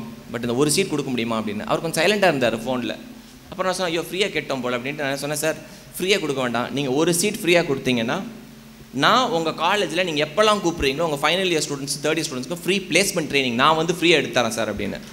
அப்போ அவர் சொன்னார் ஒரு சீட் இல்லை நான் இருபது சீட் தரேன் அப்படின்னாரு. ஒரு சீட்டு கேட்க போய் எனக்கு கிடச்சது இருபது சீட்டு இப்போ இருபது சீட் கொடுத்தா இருபது பேரை படிக்க வைக்க முடியுமா அப்படின்றது வந்து பெரிய விஷயமா இருந்தது. அப்போ தான் நானும் ஆர்ஜே பாலாஜி உங்களுக்கு தெரியல உங்களை எல்லாருக்கும் is a very very close friend ரெண்டு பேரும் உட்காந்து இது இது நெக்ஸ்ட் லெவலுக்கு எடுத்துகிட்டு போகலாம் அப்படின்னு ஒரு ரேடியோ ஷோ பண்ணலான்னு இருந்தோம். அன்றைக்கி ஒரு பேஜ் ஆஃப் பேப்பரில் என் ஃபவுண்டேஷனில் அன்றைக்கி மாற்றம்லாம் பேர் வைக்கல. என் ஃபவுண்டேஷனில் அஞ்சு குறிக்கோள் எழுதிடணும். இது என்றைக்கு இருந்தாலும் மாறக்கூடாதுன்னு நினச்சி தான் நீங்கள் எழுதணும். முதல் ப்ரிஃபரன்ஸ் மாற்றம் ஃபவுண்டேஷனில் யாருக்கு அப்படின்னா ஆர்ஃபன் சில்ட்ரன் அனாதை குழந்தைங்களுக்கு. அப்பா அம்மா இல்லைன்னா ஒரு கேள்வியும் கேட்கறது கிடையாது. நீ எந்த காலேஜ் இருபத்தேழு காலேஜ் எங்களோட பார்ட்னர் இன்ஸ்டியூஷன் இருக்குது நீ எந்த காலேஜ் வேணால் சீட்டை செலக்ட் பண்ணிக்கலாம். Complete free sponsored education number one second single parent அப்பா இல்லை அம்மா இல்லை நிறைய குழந்தைங்களுக்கு அப்பா இருக்காது. லோ இன்கம் குரூப்பில் பார்த்தீங்கன்னா நிறைய பேருக்கு அப்பா இருக்க மாட்டாங்க. குடி அதான் one of the main reason மூணாவது பெண்களுக்கு முன் முன்னுரிமை. இப்போ என்கிட்ட படிக்கிற நானூற்றி எண்பத்தி ரெண்டு குழந்தைங்களில் seventy two percent are girls seventy two percent ஏன் தெரியுமா? அது ஏன்னு கேட்குறாங்க நிறையா? ஏன் பசங்களுக்கோட பொண்ணுங்களுக்கு முன்னுரிமை? வீட்டில் அப்பா படிச்சிருந்தா அடுத்து வர எல்லா ஜென்ரேஷனும் படிச்சிருக்கணும்னு அவசியம் கிடையாது. அம்மா படிச்சிருந்தால் the generations after that will be educated அதில் வந்து எனக்கு அசைக்க முடியாத ஒரு நம்பிக்கை. So seventy two percent are girls நாலாவது எங்ககிட்ட படிக்கிற குழந்தைகளுடைய புகைப்படமோ வீடியோவோ எக்காரணத்தை கொண்டும் வெளியே வரவாது. ஒரு மீடியாவுக்கும் we will not give the pictures நீங்கள் எங்கள் foundation website Maatram foundation dot com போய் பார்த்தீங்கனாலும் எங்ககிட்ட படிக்கிற ஒரு குழந்தைங்களோட பிக்சர்ஸும் வராது. ஏன்னா உன்னால் வசதி இல்லைன்றதான் நான் படிக்க வைக்கிறேன். அதை நான் ஊருக்கு தம்பரம் போட்டு காமிச்சிட்டேன்னு வச்சுக்கோங்க. அப்புறம் அதுலேயும் நான் பிஸ்னஸ் பண்ணுறேன்னு தான் அர்த்தம். இல்லை? என் ஃப்ரெண்டு ஒருத்தர் இருப்பான் ஸ்கூலில் காலேஜில் ஸ்காலர்ஷிப் வாங்குவான். வசதி வாய்ப்பு இல்லைன்றதுக்காக அவனுக்கு ஸ்காலர்ஷிப் கொடுப்பாங்க. அவன் ஸ்காலர்ஷிப் வாங்கும் போதெல்லாம் நாங்கள் போய் கேட்போம் ட்ரீட்டு கொடுறான் அவனும் ட்ரீட்டு கொடுத்துக்கிட்டே இருப்பான். அது எங்களுக்கு பெருசாக உரைக்கல. ஆறாவது செமஸ்டரில் தான் நான் கேட்டேன். ஒரு ஒரு செமஸ்டர் ஸ்காலர்ஷிப் வாங்குறல மேலே ஏறி சான்ஸே இல்லை அப்படின்னா அப்போ தான் சொன்னேன் எதுக்குடா ஸ்காலர்ஷிப் கொடுக்குறாங்க எனக்கு? படிக்கிறன்றதுக்காக கொடுக்குறாங்க. வசதி வாய்ப்பு இல்லைன்றக்காக கொடுக்குறாங்க. அதை விட அசிங்கம் வேறு எதுவும் இல்லைடா மேலே போய் வாங்குறது. அதனால் அந்த அந்த இன்சிடென்ட் ஞாபகம் இருந்ததுனால எங்ககிட்ட படிக்கிற குழந்தைங்களோட புகைப்படமோ வீடியோவோ எதுவுமே வராது. அவங்க சக்ஸஸ் ஸ்டோரியை கூட ஃபேஸ்புக்கில் எழுதும்போது பேரை மாற்றி எழுதுவோம். காலேஜை மாற்றி எழுதுவோம். யார் அந்த ஐடென்டிட்டின்றது காமிக்கக்கூடாதுன்னு. அஞ்சாவது பப்ளிக்காக என்றைக்கும் போய் டொனேஷன் வாங்கக்கூடாது அப்படின்றதுலேயும் ரொம்ப தீர்மானமாக இருந்தோம். அதாவது ஒரு ஒரு வெப்சைட்டில் நீங்கள் பார்த்தீங்கன்னா டொனேட் டொனேட் டொனேட்னு இருக்கும். ஒரு என்ஜிஓ நடத்துவதற்கு பைசா ரொம்ப அவசியம். பைசா எப்படி நடத்துகிறோம் அப்படின்னா என்னோடய ட்ரைனிங் ப்ரோக்ராம்ஸ் நான் போய் பேசுகிற இடத்துல இருந்து என்னுடைய ரொம்ப க்ளோஸ் ஃப்ரெண்ட்ஸ் நடத்துறது. உண்மையில் என்னென்னா இந்த நானூற்றி எண்பத்தி ரெண்டு குழந்தைங்களும் படிக்கிறதுக்கு காலேஜஸ் தான் ஃப்ரீ சீட் தராங்க அப்போ அதுக்கு பைசா தேவையில்லையே. ஒரு காலேஜ் ஃப்ரீ சீட் கொடுக்கும்போது என்னோட வேலை என்ன? டிசர்விங் ஸ்டூடெண்ட் ஐடென்டிஃபை பண்ணி கொடுக்க வேண்டியது தானே. ஸோ எந்த ஸ்டூடெண்ட்டை முதல் ஸ்டூடெண்ட்டை ப்ளேஸ் பண்ணமோ காலேஜில் நைன் பாயிண்ட் டூ அவரோட சிஜிபிஏ கம்ப்யூட்டர் சயின்ஸ் இன்ஜினியரிங் ரெண்டாயிரத்தி பதினேழு ஏப்ரல் பாஸ்ட் அவுட் பெங்களூரில் இருக்க one of the top robotics ஃபார்மில் six point seven five lakhs salary packages she's placed அவள் சேல்ரி வாங்கி முதல் மாதம் எனக்கு ஒரு ஷர்ட் வாங்கி அனுப்பிச்சா ஷர்ட்டோட ஒரு லெட்டர் அனுப்பிச்சிருக்கா எனக்கு. டியர் அண்ணா வேலை வாங்கி கொடுத்ததற்கு நன்றி. என்னை படிக்க வைத்ததுக்கு நன்றி. என் தம்பி தங்கை பிள்ளைகளை படிக்க வைத்ததுக்கு நன்றி. நான் இனிமேல் சம்பாதிக்கிறதுனால என் தம்பி தங்கச்சி இனிமேல் நானே படிக்க வச்சுக்கிறேன். அந்த ஃபீஸை நீங்கள் வேறு யாருக்காவது கட்டுங்க அப்படின்றா. வே மா சம்பளம் வாங்கின முதல் மாதத்துல இருந்து. எனக்கு என்ன நான் உங்களை கேர்ள்ஸ் எல்லாம் பார்க்கும்போது என் மாற்றம் ஃபவுண்டேஷன்லேருந்து ஒரு ரெண்டு மூணு பொண்ணுங்களை நான் இங்கே வந்து நிறுத்தி பேச சொல்லலாமான்னு தோணும். ஒரு ரெண்டு வருஷத்துக்கு முன்னாடி சுலோச்சினின்னு ஒரு பொண்ணு இதுவும் பேர் மாற்றி தான் சொல்கிறேன் ஓகே கும்பகோணத்தில் இருந்து வீவஸ் ஃபேமிலியிலேருந்து வந்திருந்தா அப்பா அம்மா ரெண்டு பேரும் யூகேஜி படிக்கும்போது ஆக்சிடெண்ட்டில் இறந்துட்டாங்க. இந்த பொண்ணை அவங்க பாட்டி தான் படிக்க வச்சுருக்காங்க. இவளை நான் வந்து தான் சென்னையில் பிரபலமான சத்யபாமா யூனிவர்சிட்டியில் அட்மிஷன் கிடச்சாச்சு. இவளை நான் அடுத்த நாள் போய் பிக்கப் பண்ணதுக்காக ரயில்வே ஸ்டேஷன் போனோம். இவங்களை பிக்கப் பண்ண போகும்போதெல்லாம் நான் பிரைட் கலர் ட்ரெஸ் தான் போட்டு போவேன். ஈஸியாக ஐடென்டிஃபை பண்ணுறதுக்காக அவ கூட பேசிகிட்டே இருந்தேன். நான் சொன்னேன் அண்ணன் நாளைக்கு எல்லோ கலர் டிஷர்ட் போட்டு வருவேன். தாம்பரம் ரயில்வே ஸ்டேஷனில் நிற்கிறேன் இத்தனை மணிக்கு வெயிட் பண்ணுவேன். எல்லாம் பேசிட்டு தப்பி தவறி வாய் தவறி அவளை நான் என்ன கேட்டேன்? சாப்பிட்டியான்னு கேட்டேன். இப்போ நம்ம ஃப்ரெண்ட்ஸ் ரெண்டு பேர் பேசுகிறீங்க ஃபோனில் சர்வசாதாரணமாக கேட்குற கேள்வி தானே சாப்பிட்டியாம்மா? அப்படின்னு கேட்போம்ல. சாப்பிட்டியா? அப்படின்னு. சாப்பிட்டியான்னு கேட்டேன். அவள் அந்த பக்கம் வந்து சொல்கிறா அண்ணே நான் ஒரு வேளை தானே சாப்பிடுவேன் ஒரு நாளைக்கு அப்படின்னா. நம்மளுக்கு இது புதுசாக இருக்குது நான் மத்தியானம் பன்னெண்டு மணிக்கு சாப்பிட்டு ரெண்டு மணிக்கு திருப்பி சாப்பிட்ற ஆள்.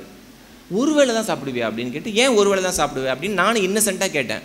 அப்போ சொன்னா அண்ணே என்னை ஸ்கூலுக்கு அனுப்பிச்சதே மத்தியானம் சத்துணவுக்காக தான் அண்ணே. மத்தியானம் மிட் டே மீல்ஸ் போடுறாங்கல்ல கவர்மெண்ட் ஸ்கூலில் அதுக்காக தான் என்னை ஸ்கூலுக்கே அனுப்பிச்சாங்க. அங்கே நான் நல்லா படித்ததால் எங்கள் ஹெட்மாஸ்டர் உங்ககிட்ட ரெஃபர் பண்ணியிருக்காருண்ணா அன்றைக்கி தான் நினச்சிப்பேன் நான். லீடர்ஸ் லைக் காமராஜர் எம்ஜிஆர்லாம் நம்ம ஏன் சாகிற வரைக்கும் மறக்கக்கூடாது அப்படின்னா look at the legendary schemes படிப்பு கம் செகண்டரி வயிற்றுக்குள்ளே ஏதாவது போனால் தானே கிளாஸில் கவனமாக இருக்க முடியும். அந்த பொண்ணு சொல்கிறது நான் சாப்பாட்டுக்காக தான் ஸ்கூலுக்கு போனேன். அதில் நல்லா படிச்சதுனால உங்ககிட்ட ரெஃபர் பண்ணியிருக்காங்கன்றா அப்புறம் அடுத்து ஒரு விஷயம் சொன்னான். ஆனால் அண்ணே ஏப்ரல் மேல ஸ்கூல் லீவ் இல்லை. அதனால் மத்தியானம் சாப்பாடு கிடையாது. இப்போ பாட்டி காலைல ரெண்டு ரூபா கொடுப்பாங்க. நான் ரெண்டு இட்லி சாப்பிடுவேன். இதோட அடுத்த நாள் தான் ரெண்டு இட்லி அவளுக்கு. ஸோ ஒரு நாளைக்கு ரெண்டு இட்லி தான் அந்த பொண்ணுக்கு உயிர் வாழ்கிறதுக்கு நம்மளுக்கு ரொம்ப கஷ்டமாக இருந்தது டாப்பிக்கை மாற்றிடலாம் அப்படின்னு சொல்லி அதெல்லாம் கவலைப்படாத நாளையிலேருந்து எல்லாம் சரியாயிடும். நல்ல ஹாஸ்டலில் நல்ல சாப்பாடு அப்படின்னு. அடுத்து அவ கேட்டுச்சு சே கேட்கக்கூடாத ஒரு கேள்வி என்ன கேட்டா? அண்ணே நீங்கள் சாப்பிட்டீங்களா? அப்படின்னா. இப்போ போய் சொல்ல முடியாதுல்ல. நான் சொன்னேன் சாப்பிட்டோமா? அப்படின்னு. என்னென்ன சாப்பிட்டீங்க? அப்படின்னா. நான் சொன்னேன் சப்பாத்தி சாப்பிட்டோமா? அப்படின்னு. அப்புறம் சொல்கிறா ஆ சப்பாத்தி அண்ணே. ஒம்பது மாதத்துக்கு முன்னாடி ஒரு கல்யாண ரிசப்ஷனில் சாப்பிட்டேனே அப்படின்னா சப்பாத்தி ஒரு லக்ஸூரியஸ் ஃபுட் ஐட்டம்னு எனக்கு அன்றைக்கி தான் தெரிஞ்சுது. டெய்லி டெய்லி என் ஒய்ஃப் கிட்ட சண்டைக்கு போவேன். ஏன் சப்பாத்தியே போட்டு சாவடிக்கிற? வேறு எதாவது போடக்கூடாது. இன்றைக்கும் சில காலேஜ்லாம் போனால் ஃபஸ்ட்டு சப்பாத்தி வைப்பாங்க. சாப்பிட்றதுக்கே கஷ்டமாக இருக்குது நம்மளுக்கு. அப்போ அந்த பொண்ணை கூட்டு வந்து காலேஜில் சேர்த்தாச்சு. ஒரு மாதம் கழிச்சு ஃபஸ்ட்டு ரெவ்யூ மீட்டிங் போய் என்னாச்சு சப்பாத்தியா? உங்கள் காலேஜ் சப்பாத்தியா? இல்லையா? முதல் மாதம் காலேஜுக்கு ரெவ்யூ மீட்டிங்கை கூப்பிட்டு காலேஜ் எப்படி இருக்குன்னு கேட்குறேன் எல்லாரும் ஒன்று ஒன்று சொல்கிறாங்க இந்த பொண்ணு மட்டும் எந்திரிச்சு வந்தா. வந்து என் கை பிடிச்சிட்டு சொல்கிறா அண்ணே இந்த டேரக்டர் உங்கள் ஃப்ரெண்டு தானே. ஆமாம்மா. அந்த டேரக்டர்கிட்ட சொல்கிறீங்களா இங்கே என் கிளாஸ் பொம்பளை பிள்ளைங்க எல்லாம் பிளேட் நிறைய சாப்பாடு போட்டுக்கிறாங்க. அவங்களால சாப்பிட முடியல. அப்புறம் கொண்டு போய் குப்பை தொட்டியில் கொட்டிடுறாங்க அப்படின்னா. பசியில் இருக்கவனுக்கு தான் பசியோட அருமை தெரியும். பதினஞ்சு வயசில் கல்யாணம் பண்ணி வைக்கிறாங்க. அக்காக்காரி கல்யாணம் தண்ணிக்கு ஓடி போயிடுறா தங்கச்சி பிடிச்சி கல்யாணம் பண்ணி வைக்கிறாங்க. பத்தொம்போதரை வயசில் ரெண்டரை வயசு குழந்தை அந்த பொண்ணுக்கு. சூசைட் அட்டம் பண்ணுறா படிக்கணுன்றதுக்காக. என்னை படிக்க வைக்கலன்னா நான் சூசைட் பண்ணிப்பேன்னு அட்டம்ப்ட்டு அதுக்கப்புறம் அவங்க மாமியார் பயந்துடுறாங்க. இன்றைக்கி எங்ககிட்ட படிக்கிறா. Eight point seven CGPA gold medalist அவள் கிளாஸில் குழந்தைய ஆறு மாதத்துக்கு ஒரு இடத்த போய் பார்க்குறா. அவள் சொல்கிறா அண்ணன் படித்து நல்ல கம்பெனி பண்ணி என் குழந்தைய வெளிநாட்டில் தான் படிக்க வைப்பானே. நான் பட்ட கஷ்டம் என் குழந்தை படக்கூடாது. திண்டுக்கல்லேருந்து ஒரு ஆசிரியர் ஒரு பே ஒரு ஒரு தமிழ் ஆசிரியர் போன ரெண்டு வருஷத்துக்கு முன்னாடி கூப்பிட்டாங்க. கண்டிப்பாக என்னோடய வயசில் பெரியவங்க அவங்க. அவங்க என்கிட்ட சொல்கிற ஒரு விஷயம் மறக்கவே மாட்டாங்க எங்களை அட்மிஷன் முடிஞ்சிச்சு அந்த வருஷம். நான் சொன்னேன் மேடம் அட்மிஷன் முடிஞ்சிச்சு மேடம் அப்படின்னு. சார் உங்கள் காலில் விழுந்து கெஞ்சி கேட்குறேன் சார் ஆசிரியர். நினச்சி பாருங்கள் அதனால தான் ஒன்றும் மழை பெய்யுது. சார் இந்த மூணு பசங்களை படிக்க வைக்கலன்னா கல்யாணம் பண்ணி வச்சுருவாங்க. நல்லா படிக்கிற பொண்ணு குழந்தைங்க. தயவு செஞ்சு எதாவது பண்ணுங்கள் சார் ஐயோ இவ்வளோ சொல்கிறாங்கன்றதுக்காக எங்கள் அம்மா திண்டுக்கல்ல தான் படித்தாங்க எங்கள் அம்மா சொன்னாங்க இல்லைடா தம்பி ஏதாவது பண்ணு அப்படின்னோடனே நாங்கள் ஃப்ரெண்ட்ஸோடு போனோம். அங்கேருந்து வில்லேஜ் பஞ்சாயத்து பிரசிடென்ட் ரொம்ப ஹெல்ப் பண்ணார். அந்த மூணு பேர் பெற்றோர்கள்கிட்டையும் பேசணும் நாலே நாலு வருஷம் எங்ககிட்ட படிக்க கொடுங்க நீங்கள் அஞ்சு பைசா செலவு பண்ண வேணாம். அவங்க அப்பா அம்மா சொல்கிறாங்க நான் அஞ்சு பைசா செலவு பண்ண மாட்டேன் சார். டிக்கெட்டுக்கெல்லாம் நீங்கள் தான் பார்த்துக்கணும் நாங்கள் எல்லாத்தையும் நாங்களே பார்த்துக்குறோம் நீங்கள் படிக்கிறதுக்கு மட்டும் அலோவ் பண்ணுங்கன்னு. இந்த மூணு பேரில் ரெண்டு பேருக்கு பதினெட்டு வயசு தானே இந்த பொண்ணுங்களுக்கெல்லாம். ரெண்டு பேருக்கு பார்த்த மாப்பிள்ளை ஒரு பையனுக்கு இருபத்தி மூணு வயசு இன்னொரு பையனுக்கு இருபத்தஞ்சு வயசு. மூணாவது பொண்ணுக்கு பார்த்த மாப்பிள்ளோட வயசு நாற்பத்தெட்டு நாற்பத்தெட்டு வயசு ஒரு ஆள் அந்த பொண்ணு கல்யாணம் பண்ணிக்கிறதுக்கு ரெடியாக இருந்தா. நான் அவளை கூப்பிட்டு கேட்டேன் இவங்க ரெண்டு பேர் சரி நீ ஏன் நாற்பத்தெட்டு வயசில் ஒரு ஆளை கல்யாணம் பண்ணுறதுக்கு ரெடியாக இருந்த? அப்படின்னு. ஒரு கூச்சமும் இல்லாமல் என்கிட்ட சொன்னான் அண்ணே அவங்கள பற்றி தெரியாது. இவரை கல்யாணம் பண்ணிக்கிட்டா இவர் என்னை காலேஜுக்கு அனுப்புகிறேன்னு சொன்னார் அப்படின்னா. காலேஜ் படிக்கிறதுக்காக பெண் குழந்தைங்க எந்த அளவுக்கு போகிறாங்கன்றதை நல்லா புரிஞ்சுக்கோங்க. அந்த எஜுகேஷனை மட்டும் தயவு செஞ்சு வீணாக்கிடாதீங்க. Specially children sitting outside these are all real real life stories இதெல்லாம் எங்கேருந்தோ புக்கு படித்ததில்லை இதெல்லாம் என்கிட்ட படிக்கிற என் குழந்தைங்கிட்ட நிறைய பேர் கேட்பாங்க உங்களுக்கு எத்தனை குழந்தைங்கள் நானூற்றி எண்பத்தி மூணு. அடுத்த வருஷம் ஒரு நூற்றம்பது ஜாஸ்தி ஆகும். ஒரு ஒரு குழந்தைகளுக்கு பின்னாடியும் ஒரு ஒரு கதை இருக்குது நான் அடாப்ட் பண்ண ஒரு பொண்ணு இருக்கா? அப்பா அம்மா இல்லை. தௌசண்ட் ஒன் எயிட்டி ஃபோர் வாங்கியிருக்கா டோட்டல் அவளை கேட்டேன் பா தௌசண்ட் ஒன் எயிட்டி ஃபோர் வாங்கியிருக்கா? சூப்பரில். வீட்டில் என்ன சொன்னாங்க? வீட்டில் யாருமே இல்லை சார் யாரும் எதுவும் சொல்ல நான்லாம் ஆயிரத்தி நூற்றி எண்பத்தி நாலு மார்க் வாங்கினா அப்படியே தலைகீழ ஆக்கிடுவேன் ஒரு பிரபலமான ஐபிஎஸ் ஆஃபீஸர் கேட்டார். உங்களுக்குலாம் என்ன படிக்கணும்னு கேட்டார். எங்க என்னோட குழந்தைங்க கிட்ட. அப்போ இந்த பொண்ணு எந்திரிச்சு ரெண்டு ஐஏஎஸ் ஆகணும் அப்படின்னா அவள் ஐஏஎஸ்க்கு தான் ட்ரைனிங் பண்ணிட்டு இருக்கா. அப்போ அந்த ஐபிஎஸ் ஆஃபீஸர் கேட்டார் ஏன் ஐஏஎஸ் ஆகணும் உனக்கு? அப்படின்னு சொல்லு பார்க்கலாம் அப்படின்னாரு. அவர் வாழ்க்கையில் கேட்கக்கூடாத ஒரு பதில் அன்றைக்கி தான் கேட்டார். எல்லாரும் சொன்னாங்க நாட்டுக்கு சேவை செய்யணும் அதெல்லாம். அவள் எந்திரிச்சு சொன்னான் எங்கள் அண்ணன் இருக்கார்ல எங்கள் அண்ணனுக்கு ஒயிட்டு கலர் காரில் ரெட்டு கலர் லைட் வச்சு வண்டியில் போகணுன்னு ஆசை. அப்போ நான் கேட்டேன் அண்ணன் அந்த மாதிரி வண்டியில் போகணுன்னா என்னென்ன பண்ணணும்? அப்படின்னு. ஐஏஎஸ் படிக்கணும்னு சொன்னார். சரி எங்கள் அண்ணனை காரில் கூட்டு போகிறதுக்காக நான் ஐஏஎஸ் படிச்சுட்ருக்கேன் அப்படின்னா. அந்த ஐபிஎஸ் ஆஃபீஸர் எப்படி என்னை பார்த்தாரு. யோ இது மாதிரி ஒரு ஆன்சர் நான் கேட்டதே கிடையாதுயா நம்மளை ஒரு விஷயம் பாதிச்சுன்னா பாதிச்சதுன்னா அதை ஆக்ட் பண்ணாத நம்ம மனுஷர்களே கிடையாது. இந்த last story the final story April பதினாறு டூ தௌசண்ட் சிக்ஸ்டீன் இருபத்தி நாலாம் தேதி எங்கள் ஆஃபீஸில் வேலை செய்கிற சந்தானம்னு ஒருத்தர் house keeping staff Madras Christian college வாசலில் ஒரு கண்ணு தெரியாத அம்மா ஒருத்தங்க கடலை மிட்டாய் வித்துட்டு இருக்காங்க அப்படின்னு சொல்லி ஒரு ஃபோட்டோ எடுத்துகிட்டு வந்து என்கிட்ட காமிச்சார். அந்த ஃபோட்டோ பார்க்கும்போது அந்த அம்மா கை நீட்டி கடலை மிட்டாய் ஒரே இடத்துல நின்று வித்துட்டு இருக்காங்க. அவங்களுக்கு காலு கீழே ஒரு சின்ன குழந்தை உட்காந்து புக்கு உட்காந்து படிச்சுட்டு இருந்தது. இதுதான் ஃபோட்டோ எடுத்த ஒரு பேர் சந்தானம் எங்கள் ஆஃபீஸில் ஹவுஸ் கீப்பிங் வேலை செய்கிறார் இது பார்த்தோன்னே எனக்கு அந்த கண்ணு தெரியாதவங்க தெரில கீழே உட்காந்து புக்கு படிக்கிற அந்த குழந்தை தான் என்ன பாதிச்சது. நான் சொன்னேன் இவங்களை கூட்டிகிட்டு வா நாளைக்கு ஆஃபீஸ்க்குன்னு ஆஃபீஸ்க்கு வந்தாங்க. அந்த அம்மா பேர் சுகுணா. சுகுணாவுக்கு கண் பார்வை இல்லை. ஹஸ்பண்டுக்கும் கண் பார்வை இல்லை. ஒரு பையன் ஒரு பொண்ணு. அவங்க ஒரே இடத்துல நின்று கடலை மிட்டாய் விற்கிறாங்க. சும்மாலாம் இல்லை. டபுள் கிராஜுவேட் பிஏ பிஎட் படிச்சிருக்காங்க. பிஏ தமிழ் லிட்ரேச்சர் பிஎட் முடித்து வேலை கிடைக்கல. அதனால் கடலை மிட்டாய் விற்கிறாங்க. ஹஸ்பண்டுக்கு ஃபிட்ஸ் வருமா அதனால் அவரால் வேலைக்கு செய்ய முடியாது. ஏன் ஒரே இடத்துல நின்று கடலை மிட்டாய் விற்கிறாங்கன்னா ஒரே இடத்துல நின்று விற்கும் போது பொண்ணுக்கு ஹோம்ஒர்க் சொல்லி கொடுத்துருவாங்களாம். ஸோ அந்த பொண்ணு அங்கேயே உட்காந்து எல்லாத்தையும் படித்து முடிச்சிடும் அவள் தான் second standard class topper corporation ஸ்கூலில் அந்த பொண்ணு டெய்லி டெய்லி அங்கே இருக்க விநாயகர் கோயிலுக்கு போய் ப்ரே பண்ணிட்டு வருமா. எங்கள் அம்மா தான் நிறையா படிச்சிருக்காங்களே. ஏன் எங்கள் அம்மாவுக்கு மட்டும்? ஏன் வந்து அம்மா மட்டும் இது நல்ல வேலை கிடைக்க மாட்டேங்குது இதே மாதிரி ஆர்டினரி இது மாதிரி ஒரு வேலையில் நிற்க விட்றீங்களே அப்படின்னு கேட்டுகிட்டு இருந்திருக்காங்க அவள் எங்கள் ஆஃபீஸ்க்கு வந்தப்போ நான் கையில் பதினோராயிரரூவா கொடுத்துட்டு அந்த அம்மாக்கிட்ட சொன்னேன் இந்த ப பணம் காலியாகிறதுக்குள்ளே உங்களுக்கு ஒரு நல்ல வேலை வாங்கி கொடுக்குறது என்னோட வேலை அப்படின்னு சொல்லிட்டு அவங்கள பற்றி ஃபேஸ்புக்கில் எழுதினேன். எழுதும் போது மட்டும் நான் சொன்னேன் தயவு செஞ்சு நீங்கள் திருப்பி இந்த வேலைக்கு போயிடாதீங்க. ஏன்னா இது கண்டிப்பாக வைரலாக போகும் ஹெல்ப் வரும் அப்படின்னு. நிறைய பேர் ஷேர் பண்ணாங்க நிறைய பேர் வந்து இதெல்லாம் கொடுத்தாங்க பைசாலாம் கொடுத்தாங்க. பட் பைசா கொடுத்தா மட்டும் வேலை கிடைக்காதுல்ல. You have to help them get a job அப்போ என் ஃப்ரெண்ட்ஸ் கிட்டலாம் தேடும்போது ஒருத்தன் சொன்னால் இன்ஃபோசிஸ்லேயே நீ ஏன் ஒரு பொட்டி கடை வச்சு கொடுக்கக்கூடாது அப்போ அதை வச்சு பொழைச்சிப்பாங்க அப்படின்னு. அப்போ என் ஃப்ரெண்டு ஒருத்தன் மகேந்திரா வேர்ல்ட் ஸ்கூலில் பிரின்சிபலாக இருக்காங்க. அவங்கக்கிட்ட கேட்டேன் இது மாதிரி ஒரு டீச்சர் ஒருத்தங்க இருக்காங்க. இஃப் யூ டோன்ட் மைண்ட் நீங்கள் அவங்கள ஒரு இன்டர்வியூ மட்டும் பண்ண முடியுமான்னு கேட்டேன் நான். இன்டர்வியூ பண்ணிவிட்டு சப்போஸ் டீச்சருக்கான குவாலிஃபிகேஷன் இருந்ததுன்னா அவங்கள நான் வேறு ஏதாவது ஸ்கூலில் சேர்த்து விட்டுறேன். ஏன்னா கண்டிப்பாக அது பெரிய ப்ரைவேட் ஸ்கூல் அங்கே சேர்த்துக்க மாட்டாங்கன்னு தெரியும். இன்டர்வியூ நடந்தது. ரெண்டு மணி நேரம் இன்டர்வியூ கேட்குற ஒரு ஒரு கேள்விக்கும் சுகுணா பளிச்சு பளிச்சுன்னு பதில் சொல்கிறாங்க ஒரே ஒரு கேள்வியில் மட்டும் மாட்டிக்கிட்டாங்கன்னு நினச்சேன் நான். என்ன கேள்வி கேட்டாங்கன்னா சுகுணா நான் உங்களுக்கு இங்கேயே தமிழ் டீச்சர் வேலை கொடுக்குறேன்னு வச்சுக்கோங்களேன். நீங்கள் கிளாஸில் மட்டும்தான் தமிழ் பேச முடியும். வெளியிலலாம் இங்கிலீஷ் தான் பேசணும். என்ன பண்ணுவீங்கன்னு கேட்டாங்க. நான் நினச்சேன் ஐயோ என்ன பதில் சொல்ல போகிறாங்களேன்னு தெரியலையேன்னு. கண் தெரியாத சுகுணா சொன்னாங்க மேடம் இங்கிலீஷ் ஒரு லாங்குவேஜ் தானே மேடம். தமிழ் மாதிரிலாம் அது கஷ்டம் கிடையாது மேடம். நான் தமிழில் பிஏ பிஎட் படிச்சிருக்கேன் மேடம். ஆறு மாதம் டைம் கொடுங்க. நான் நான் இங்கிலீஷ் கற்றுப்பேன் அப்படின்னாங்க. அதுக்கப்புறம் பிரின்ஸிபல் போய்ட்டு பார்த்து சொன்னாங்க மேடம் தமிழில் பிஏ பிஎட் படித்தேன் நான் என்னோட மதர் டங் தமிழ் கிடையாது மேடம் நான் சௌராஷ்டிராலேருந்து வந்திருக்கிறேன். அதெல்லாம் தமிழே கற்றுக்கிட்ட போது இங்கிலீஷ் கற்றுப்பேன் மேடம் பிரின்ஸிபல் என்கிட்ட இப்படி கை காமிச்சாங்க. எனக்கு புரியல. அன்றைக்கே ஆஃபர் லெட்டர் கொடுத்தாங்க. இருபதாயிரத்தி எழுநூறுரூவாய்க்கு தமிழ் ஆசிரியராக மகேந்திரா வேர்ல்ட் ஸ்கூலில் டீச்சர் வேலை. அந்த ரெண்டு குழந்தைங்களும் அதே ஸ்கூலில் படிக்கிறாங்க. ரெண்டாயிரத்தி பதினேழில் Suguna ability ஃபவுண்டேஷனோட award one lakh cash prize ஜெயிக்கிறாங்க.